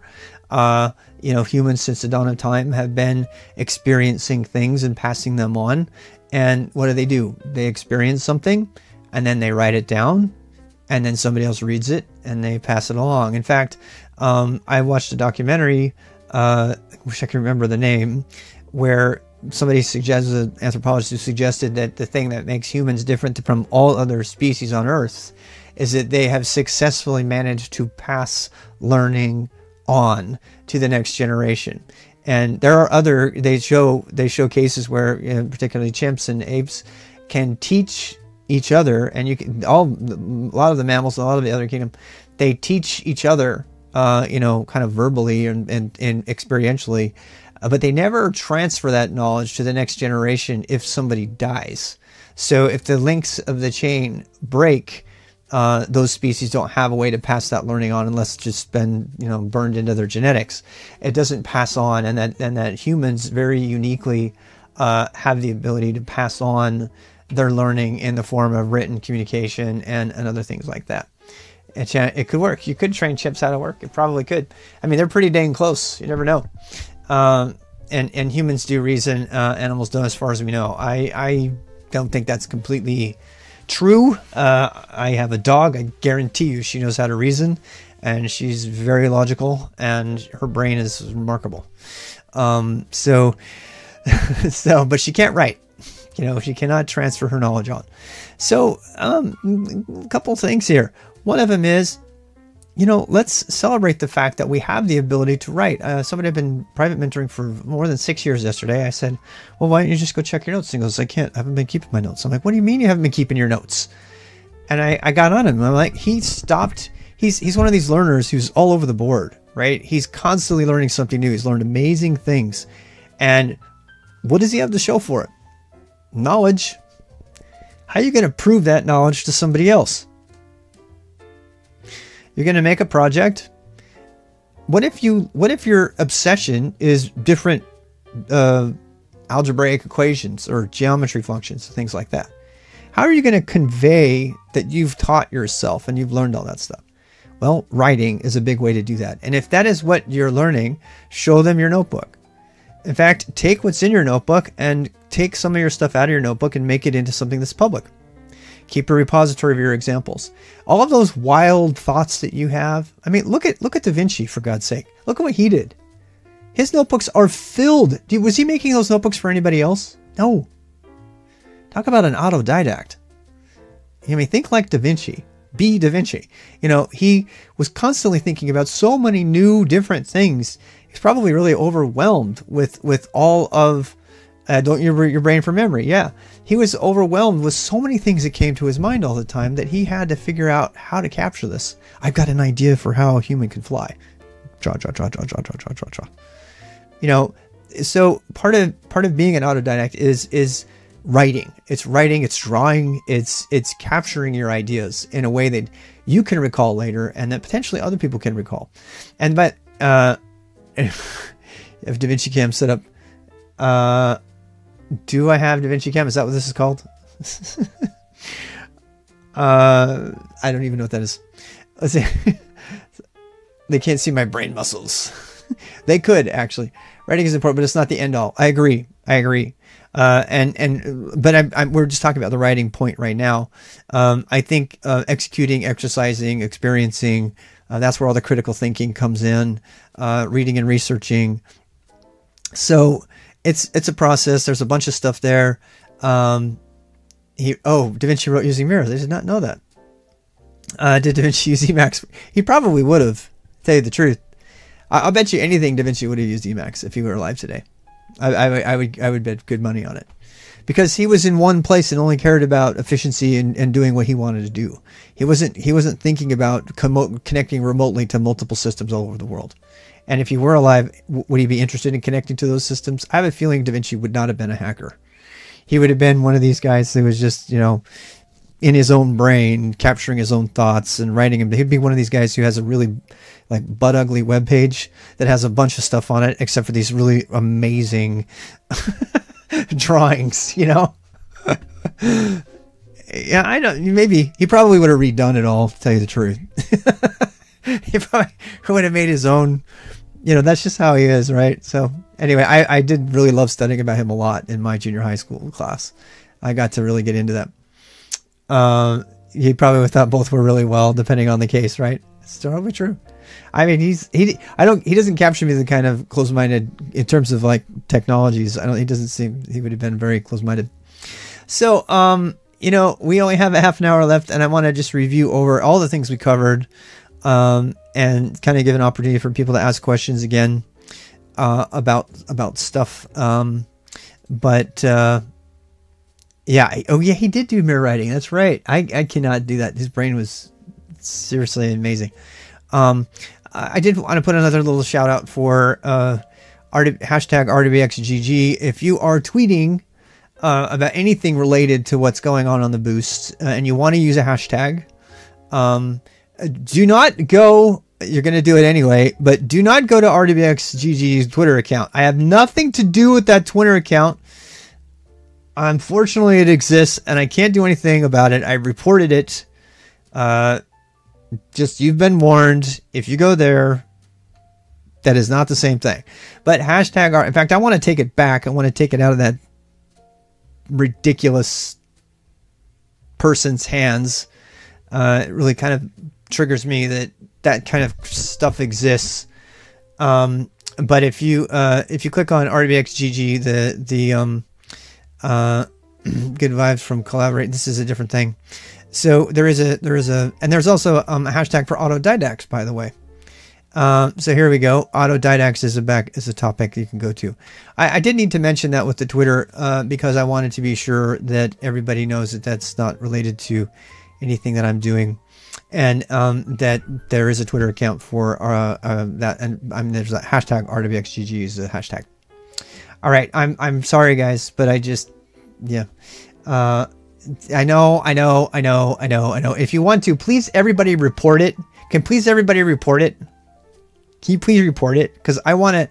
I don't want it out there, and I I really want to get rid of it. Okay, so just okay. Um, it has nothing to do with me. I don't. I was. It existed before I existed, so he has squatters' rights. But um, anyway, so next, next topic. Uh, let's review what we did this week. So um, this week we went through uh, lots of things changed up here. So I'm going to go through the schedule. Um, and click on getting started. And we'll go to the top. So did I cover everything else? Learning to oh, Dogma's death. Uh, so Dogma's death. Uh, you know what dogma is, right? Dogma is getting so set in your ways that you refuse to listen to anybody else's opinion and to have your opinions challenged and you get defensive and angry about it. Uh, we all get defensive and angry when people contradict our worldview. It's just the nature of human beings. It's called the backfire effect. You can watch a thing about that on Adam Ruins Everything. Uh, but what's really dangerous is when we double down and dig our heels in and won't listen to anybody else under any circumstances, no matter what. And that is death. I mean, there is no no progress can happen when you have decided that's it. There is no other way.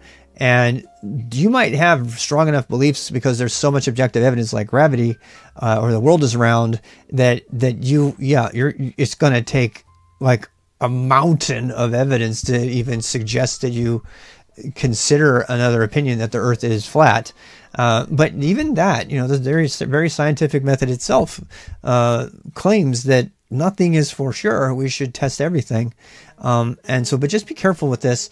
Uh, and that goes for VI and Emacs. And I hope, um, I, at least I want to believe about myself that I have gotten more flexible even in my own dogmatic uh, technology beliefs. And um, that I can, can change, including one very recently. So, uh, very recently I went off saying this is a dumb way to use VI. You should never use VI like Emacs. Uh, you should only use VI as a way of, of remotely connecting. And why on earth would you want to use visual mode when you can't use that on any remote system that has VI? Uh, by the way, that's an opinion shared by Last Miles. Um, and uh, so I, I, but I've challenged my own belief on that. Uh, and I believe, uh, yeah, you, you, can use Emacs on a remote system uh, if you want to make it to do that that way. It's not the best way, but if you want to use VI as basically Emacs on your own computer, um, I don't know him, but I've watched him a couple times, and um, then then that is that is totally okay. Uh, so in that sense, it's it's not so much an opinion as much as it's a, a tool for the job, and if that's your choice, fine. Uh, but if you right, if you actually attempt to use uh, those skills an environment where you're managing systems that don't have Vim, and I know that doesn't sound like there are scenarios that exist that, that have that, uh, but there are. There's a lot of them. And if you work for the enterprise, uh, there's a good chance you're going to be administering systems that have Solaris, which is what Last Miles runs, uh, or they have AWK or um, uh, AIX uh, or other systems like that. Um, if you want to live in a world where only Linux exists on everything, or if you want to live in a world where you imagine Emacs is pre-installed on everything, uh, or Arch is is on everything, fine. Uh, but you know, when that's not true, uh, just know that that's what you're getting into, and you might have to relearn a lot of things. So that's where I come from. But but I will confess right now uh, that um, let's see, just got promoted to AIX VI only for me. Yeah, okay, so yeah, if you're using AIX, there's a good case of it. So the reason that I am so I've changed from being sort of triggered and dogmatic and angry to saying, all right, fine but just know what you're giving up. Just know what you're getting into when you do it. Is it bad? I don't know, bad and good, but but it's definitely bad if you're going to work in an AIX environment next week and you didn't know better, and all of a sudden you have to reload your fingers have to relearn everything they ever learned before. It's the same reason you would say uh, if you try to learn to type with two fingers, you can do that and survive. you know, but it's not going to be as efficient as if you use all your fingers. That's just the objective truth. So, but you can, if that's what you want to do for your whole world, in life, fine. But but and that's not a dogmatic opinion. That's more of a scientific opinion. That's like you will be faster if you use your, all of your hands uh, to type. Anyway, so but be careful with your dogma. Uh, check your dogma. You know, and because it is death, and it, and it, not only that for you but for others. Uh, so you can yeah, every single time I've lost my shit, we'll say, it's been because of something that I felt so dogmatic about because I knew that it was going to cause somebody else harm. And that is my trigger uh, that makes me get very dogmatic, including uh, very recently, the last couple of days, going off on the guy who wrote that horrible, horrible Vim blog. I mean, it, the writing in the blog is fine and great. It communicates its point very well. The problem is, is that the points are dead wrong. They're bad. And I attacked his, the blog really heavily. And uh, I don't mind attacking ideas, uh, but the person felt attacked. And in this case, there's nothing I could do. People feel attacked when you attack their ideas. And that's too bad. We should also learn to not do that. We need to do a yoga stream. Yes, we do. Uh, make us all better. I definitely need it. Um, so we'll explain my script for the markup section on RWXGG. Um, if you'd like to, I can talk about that quickly. We have some time here. Uh, we are going to be doing that um, quite a bit uh, during the next phase. So, um, okay, so right here, uh, section five, knowledge with structure as source. Um, I've moved that uh, until after the Linux stuff because by then we're going to be able to understand what is in the scripts that I'm going to show you right now. So don't feel panicked. Just know uh, if you want to understand uh, what's in the script, we're going to talk about bash scripting for a full week. I gave it a whole week. I'm really happy about that. Uh, do I think bash is the best beginner language? No. Uh, but, you know, I, I don't want to wait. We've done so much with bash already uh, that if we wait until after JavaScript in week 11, you'll forget everything you just learned this week. So we're going to jump right into Linux. Uh, we're gonna, and then we're going to jump right into Linux uh, command line and Bash, and then that's like, you know, a really solid month of nothing but Linux.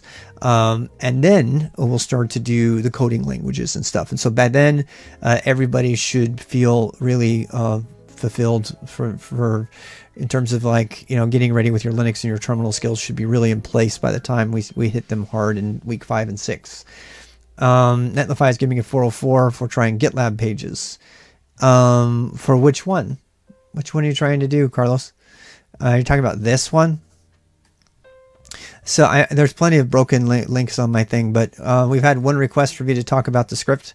Uh, so what I'll do is I'll go through the script and um, just tell you what it's doing. I actually made uh, a fix to the script. If you want to see the script, you can um, go download it. It's actually on RWXGG. It's, it's inside of the um, it's inside of the source code.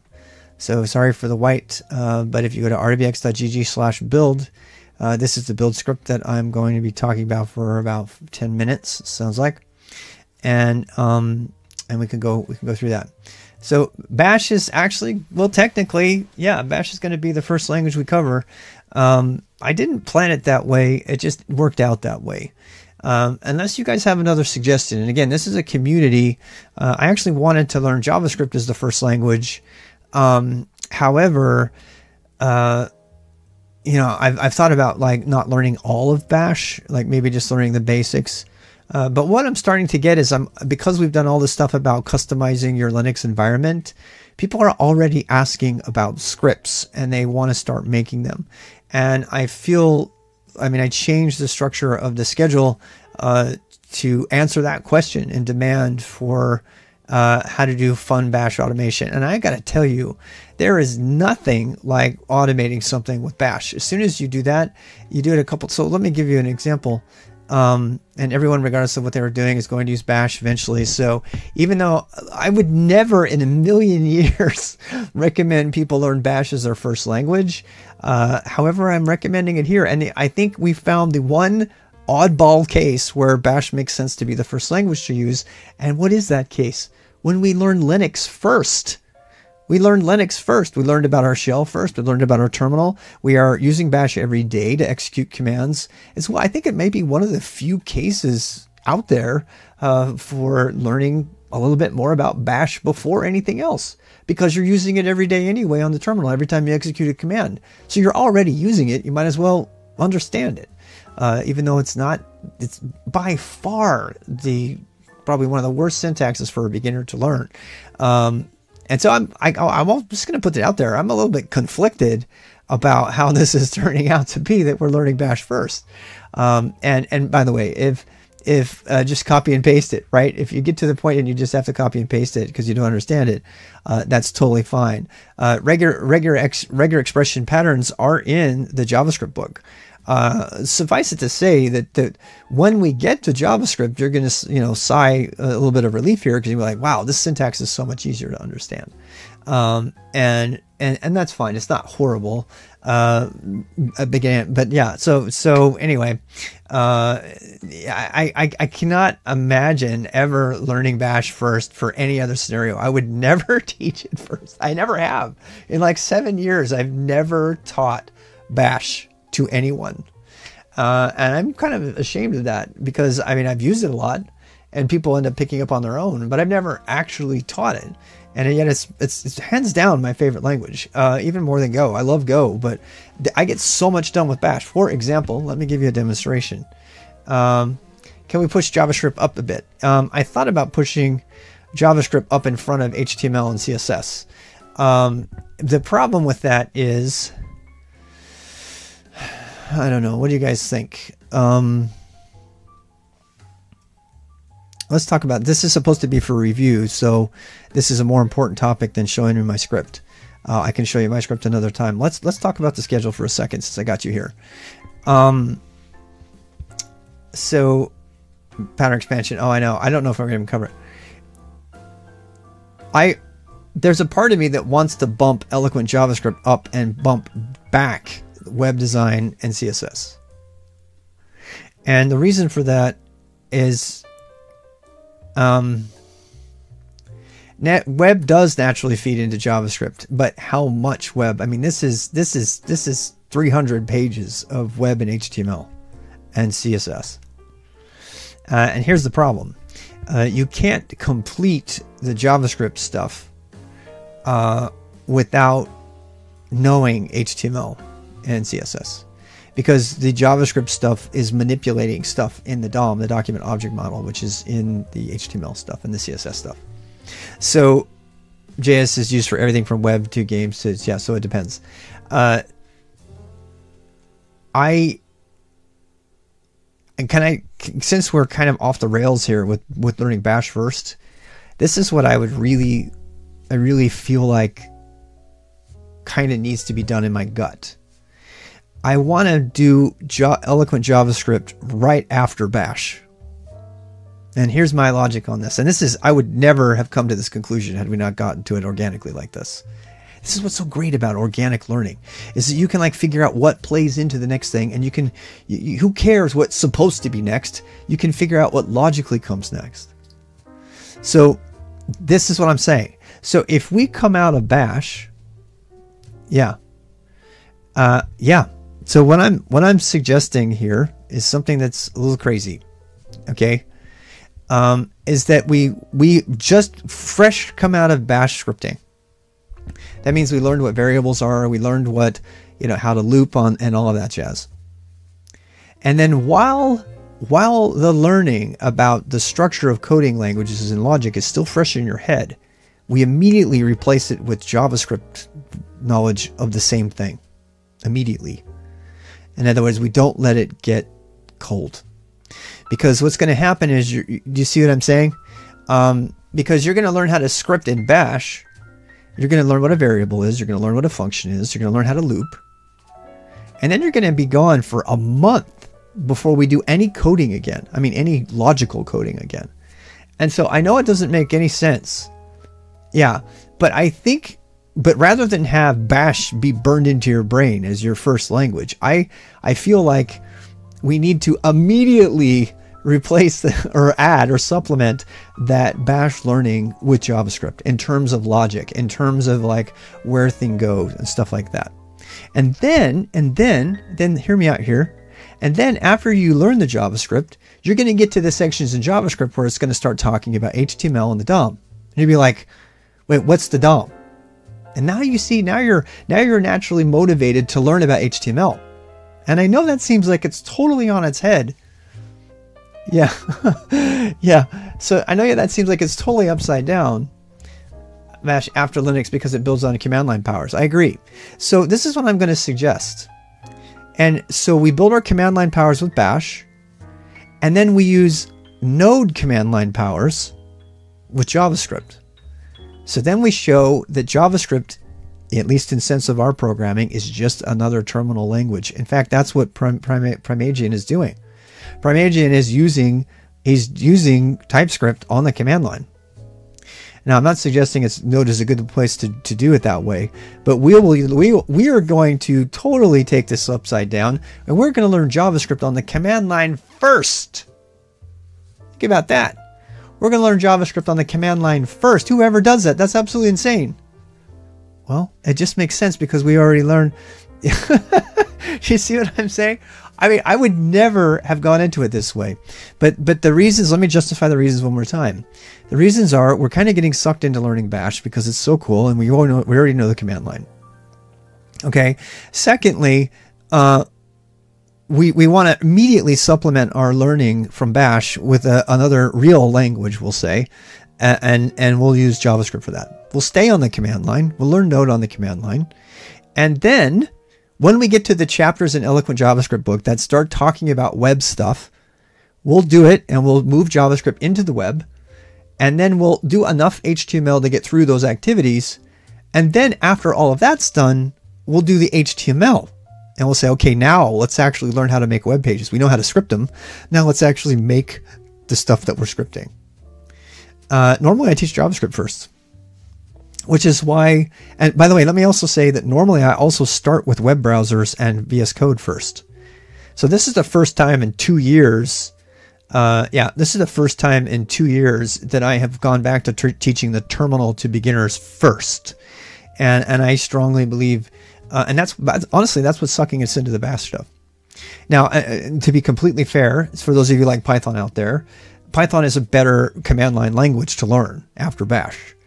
Uh, and there's there's a really big part of me that thinks that we should learn Python after Bash.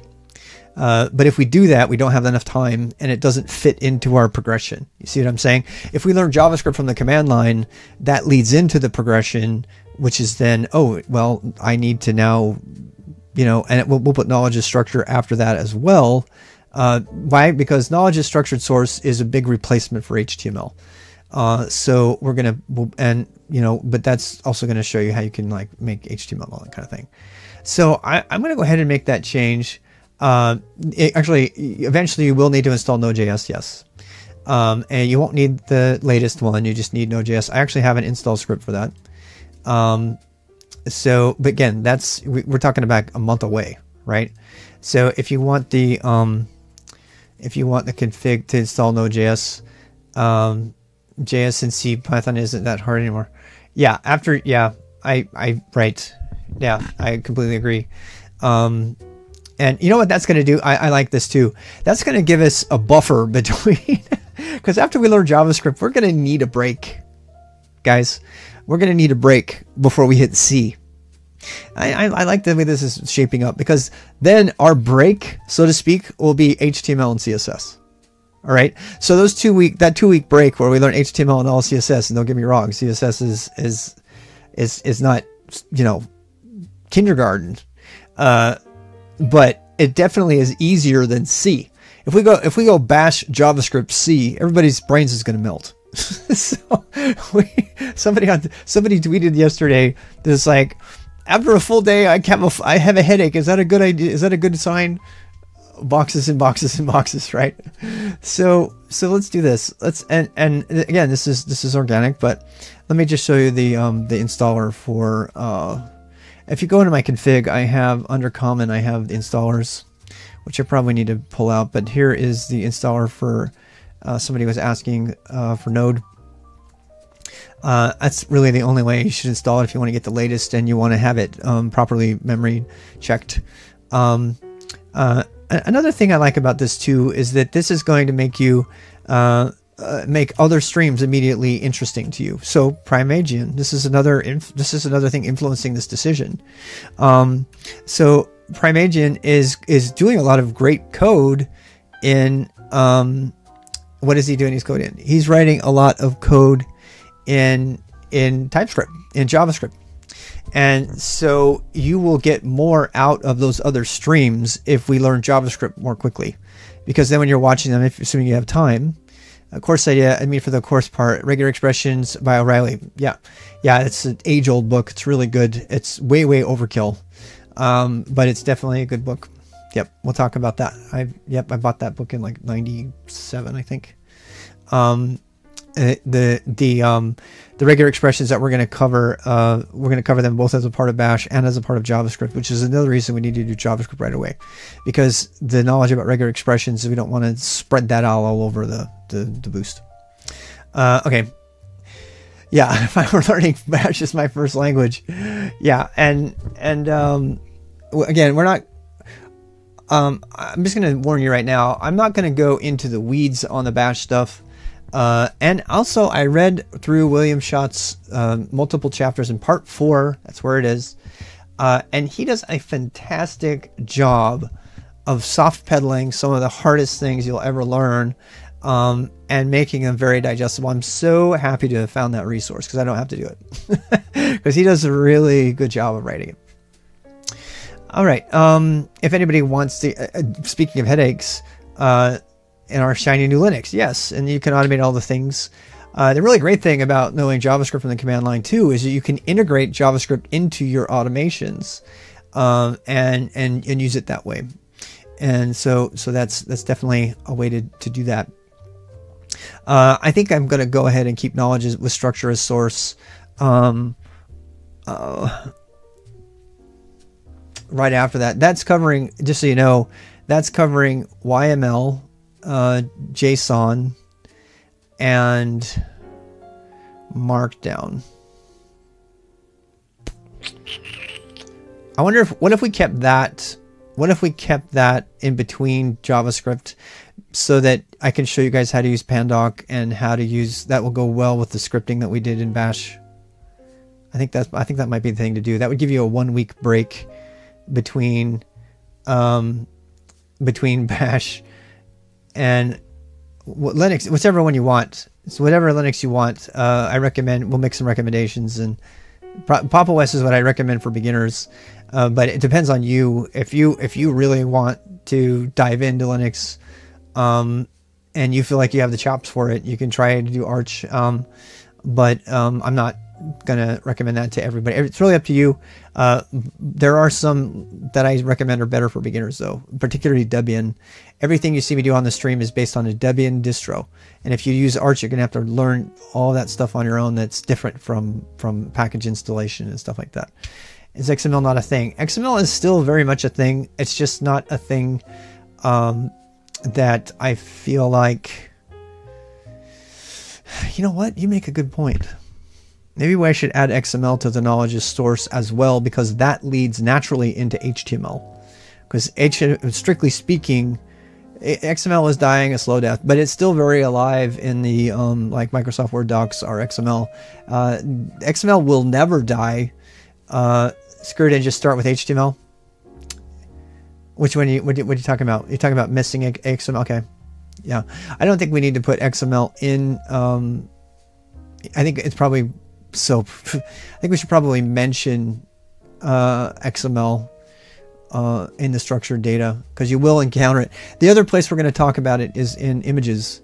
SVG images are XML documents and they are not going anywhere. They are a very, very powerful modern use of the internet and they are 100% XML. So, in that sense, knowing XML is is yeah is going to be a natural follow on to that. And I love that you learn HTML first and then images. And so we'll probably learn uh, XML as a part of learning SVG images. And or the dithered GIFs. A brief overview, maybe. Um, yes, we're gonna. we'll talk about XML for one full segment, forty minutes, uh, while we talk about images when we talk about SVG. Uh, it's super important that you learn how to animate SVG. For example, if you ever want to do anything like this, this this is all XML. This is an animated SVG uh, image, and this is using JavaScript and XML in order to do all of the rescaling and everything. So if you you'll see them all over the internet, you'll see animated SVGs all over the place, and that is a very very modern use of the World Wide Web, and you cannot do that without knowing XML. So but it's XML with a very specific purpose. It's XML as it is used for SG, S, SVG images are not, they're just, they're just XML. That's all they are. So, and in this case, it's if you want to do this, you have to write your image in XML in your web page. It has to be embedded in your web page. You can't have it, you know, sourced if you know how to do HTML development. It's not, it's not sourced. It actually has to be embedded in your in your page, which means there still is a compelling reason to learn XML. Um, uh, with JavaScript Canvas, no, no way. Why would I do that? You can do that with JavaScript Canvas, and we will, by the way. So the Eloquent JavaScript has the JavaScript Canvas game in it, which is pretty cool. It doesn't use a framework. Uh, I'm really tempted to teach you guys Phaser, the Phaser game engine, at the same time that we cover that chapter. So I'm just going to put that out there. Uh, any of you that want to learn how to make a really easy platformer game in like 20 minutes, uh, using the phaser engine. Uh, I'm going to, I'm just going to, I'll, I'll, put a teaser out there. I am going to have make a game with JavaScript and Phaser uh, around the same time that we're doing the project for JavaScript Canvas in Eloquent JavaScript. If you don't know what I'm talking about, go open the book, Eloquent JavaScript. It's free, um, and you can read read through that and find out what, what's going on with that. Uh, I wonder, hmm, uh, once upon a time, there were a bunch of Easter eggs in this site, and there's not as many now. I may, I have lots of other things to document first, and then I'll go back to building Easter eggs into my site. RWXGG will contain, mark my words, RWGG will RWXGG will contain multiple Easter eggs at some point. In fact, all of the content will be covered in some fashion through an Easter egg plot line that goes through all of the content it is it's something I've been working on for a long time. Uh, I started here. Uh, the problem with this is the first clue is is now gone. the first clue on this site is now gone. It used to be on our van.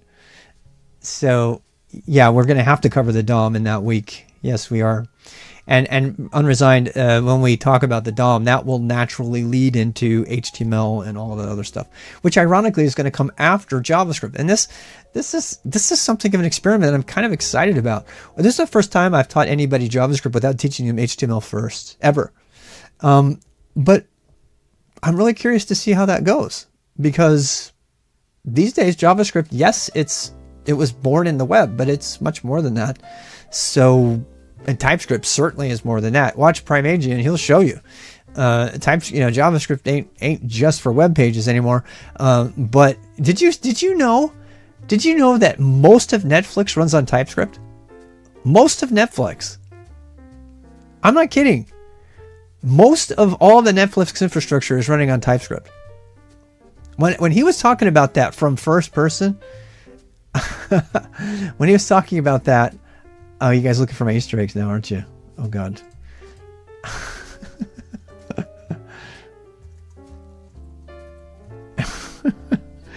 the reason I can't put the Easter eggs the way I used to put them in is because is because it used to be that the source code for skillstack.io was private. You know how hard it is to make an Easter egg site where you can get all the source code for free? Just go download it. so let's see, both are used, I believe. Oh, Kotlin, yeah, and um, yeah, um, so I, I'm gonna, I'll tell you something else I'm gonna do that I haven't done yet. I'm almost, I'm almost completely decided to do this. We're out of time, but I'm almost completely decided that I'm going to lock down the site, but if I do that, then people can't submit bug reports, and that's that's a really conflicted on that. because if I do that, then all the Easter eggs would be much more fun. But I could make the Easter eggs a lot harder. Oh, I started SkillStack years ago. like 2013. This is my old, this is my old business. I still, this is my, this is how I make my money today. Uh, let's see. I see you work through your presentation. Do you think uh, to do some applicable practice course over Raspberry? Uh, well, that's funny you say that because up until today, uh, the schedule had a full week of networking on it, and the project for that was going to be running a Minecraft server on Raspberry. Um, so I am going to talk about Raspberry on the in in the Linux week. So Raspberry is one of the uh, one of the main um, Linux Linuxes, I guess, uh, that we're going to call. You can actually see all of the Linux uh, that we're going to talk about. What is Linux? Overview of the distros. Uh, what about Manjaro? Oh, this is old. I must not have upgraded this yet. This is the old one. I've rewritten this whole thing. Oh, Linux distros. Yeah, I, this is stuff that all has to be written. I haven't. Oh boy. There you go. Is it just distros, Rob? What did you write? I don't. Maybe I didn't save it. No, there it is. Distros. Um, Easter eggs in a private submodule. Yeah, the Easter eggs will probably be like something I started out doing. They'll be encrypted. Yeah, I'm just gonna encrypt the Easter eggs and, and put them in, and you'll have to, you'll have to, to find the flags to decrypt the Easter eggs. Uh, right? Yes, let's do. Um, what are the Easter cojones? Um, so anyway, this has been fun, guys. Uh, hopefully we know where we're going next. I'm glad we had this talk because this is really saving what I'm going to do over the weekend. Uh, over the weekend, I have to get next week completely ready. Uh, so please uh, have a fun weekend. Uh, we are going to do a raid here pretty soon. Um, and just know that the schedule will be updated and um, that these dates have the videos. You can come watch them anytime. Uh, get those brains churning, yes.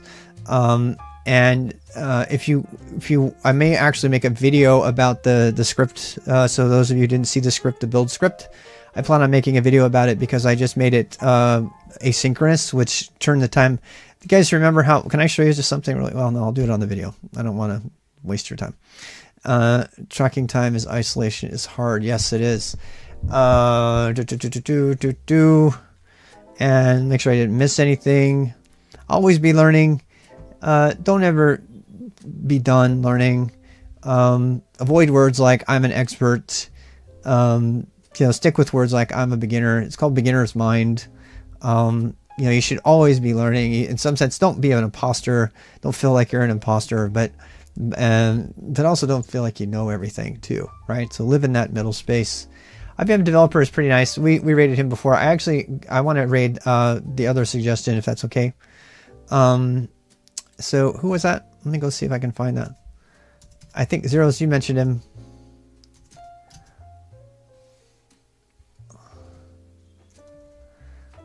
Yeah, lots of stuff that you guys can dig into. I'm gonna do Chris Titus Tech. Um, my God, it's been a fun week though. Been I'm so exhausted, but it's been worth it. You know how can you get really tired, and you like, but it's like a good tired. That's what I feel like. So this has been remarkable adventure for me. I look forward to, to doing this all through the summer with you. And we'll see you. Uh, I will be doing a lot of fun stuff for the heck of it this weekend too, online over time. So just stop by and say hi. Uh, some of it I will be doing off stream. Uh, please don't give me crap for not having my video on. Uh, I banned somebody for it and then I unbanned them. Uh, if I don't have my video, just deal with it. It means that I'm focused. Okay. Take care. I'm gonna set the rate up. Um, and yeah, it's been it's been a lot of fun. Um, I will be making a video uh, this weekend, if not immediately, about um, uh, yeah, teaching and curriculum design. Uh, those separately hanging there. Uh, yeah, well, I, have never done it separately. do we just get raided? We just got raided as soon as we went to go raid somebody else. Oh my gosh. Oh my gosh, the Cyber Mentor raids us right as we're about to raid somebody else. This is going to be fun. So, so they're going to get a nice raid from us who just raided. that should be really fun. I'm glad everybody's together. You guys are fantastic. I need to raid Cyber Mentor. I haven't raided him yet. So or yeah. So I need to. I definitely need to raid Cybermentor. Uh oh, did we? Okay, great. I was afraid. Um, so the seconds are ticking away. I'm gonna take off. See you this weekend sometime randomly. I'm gonna do my Twitch stop. All right, bye bye.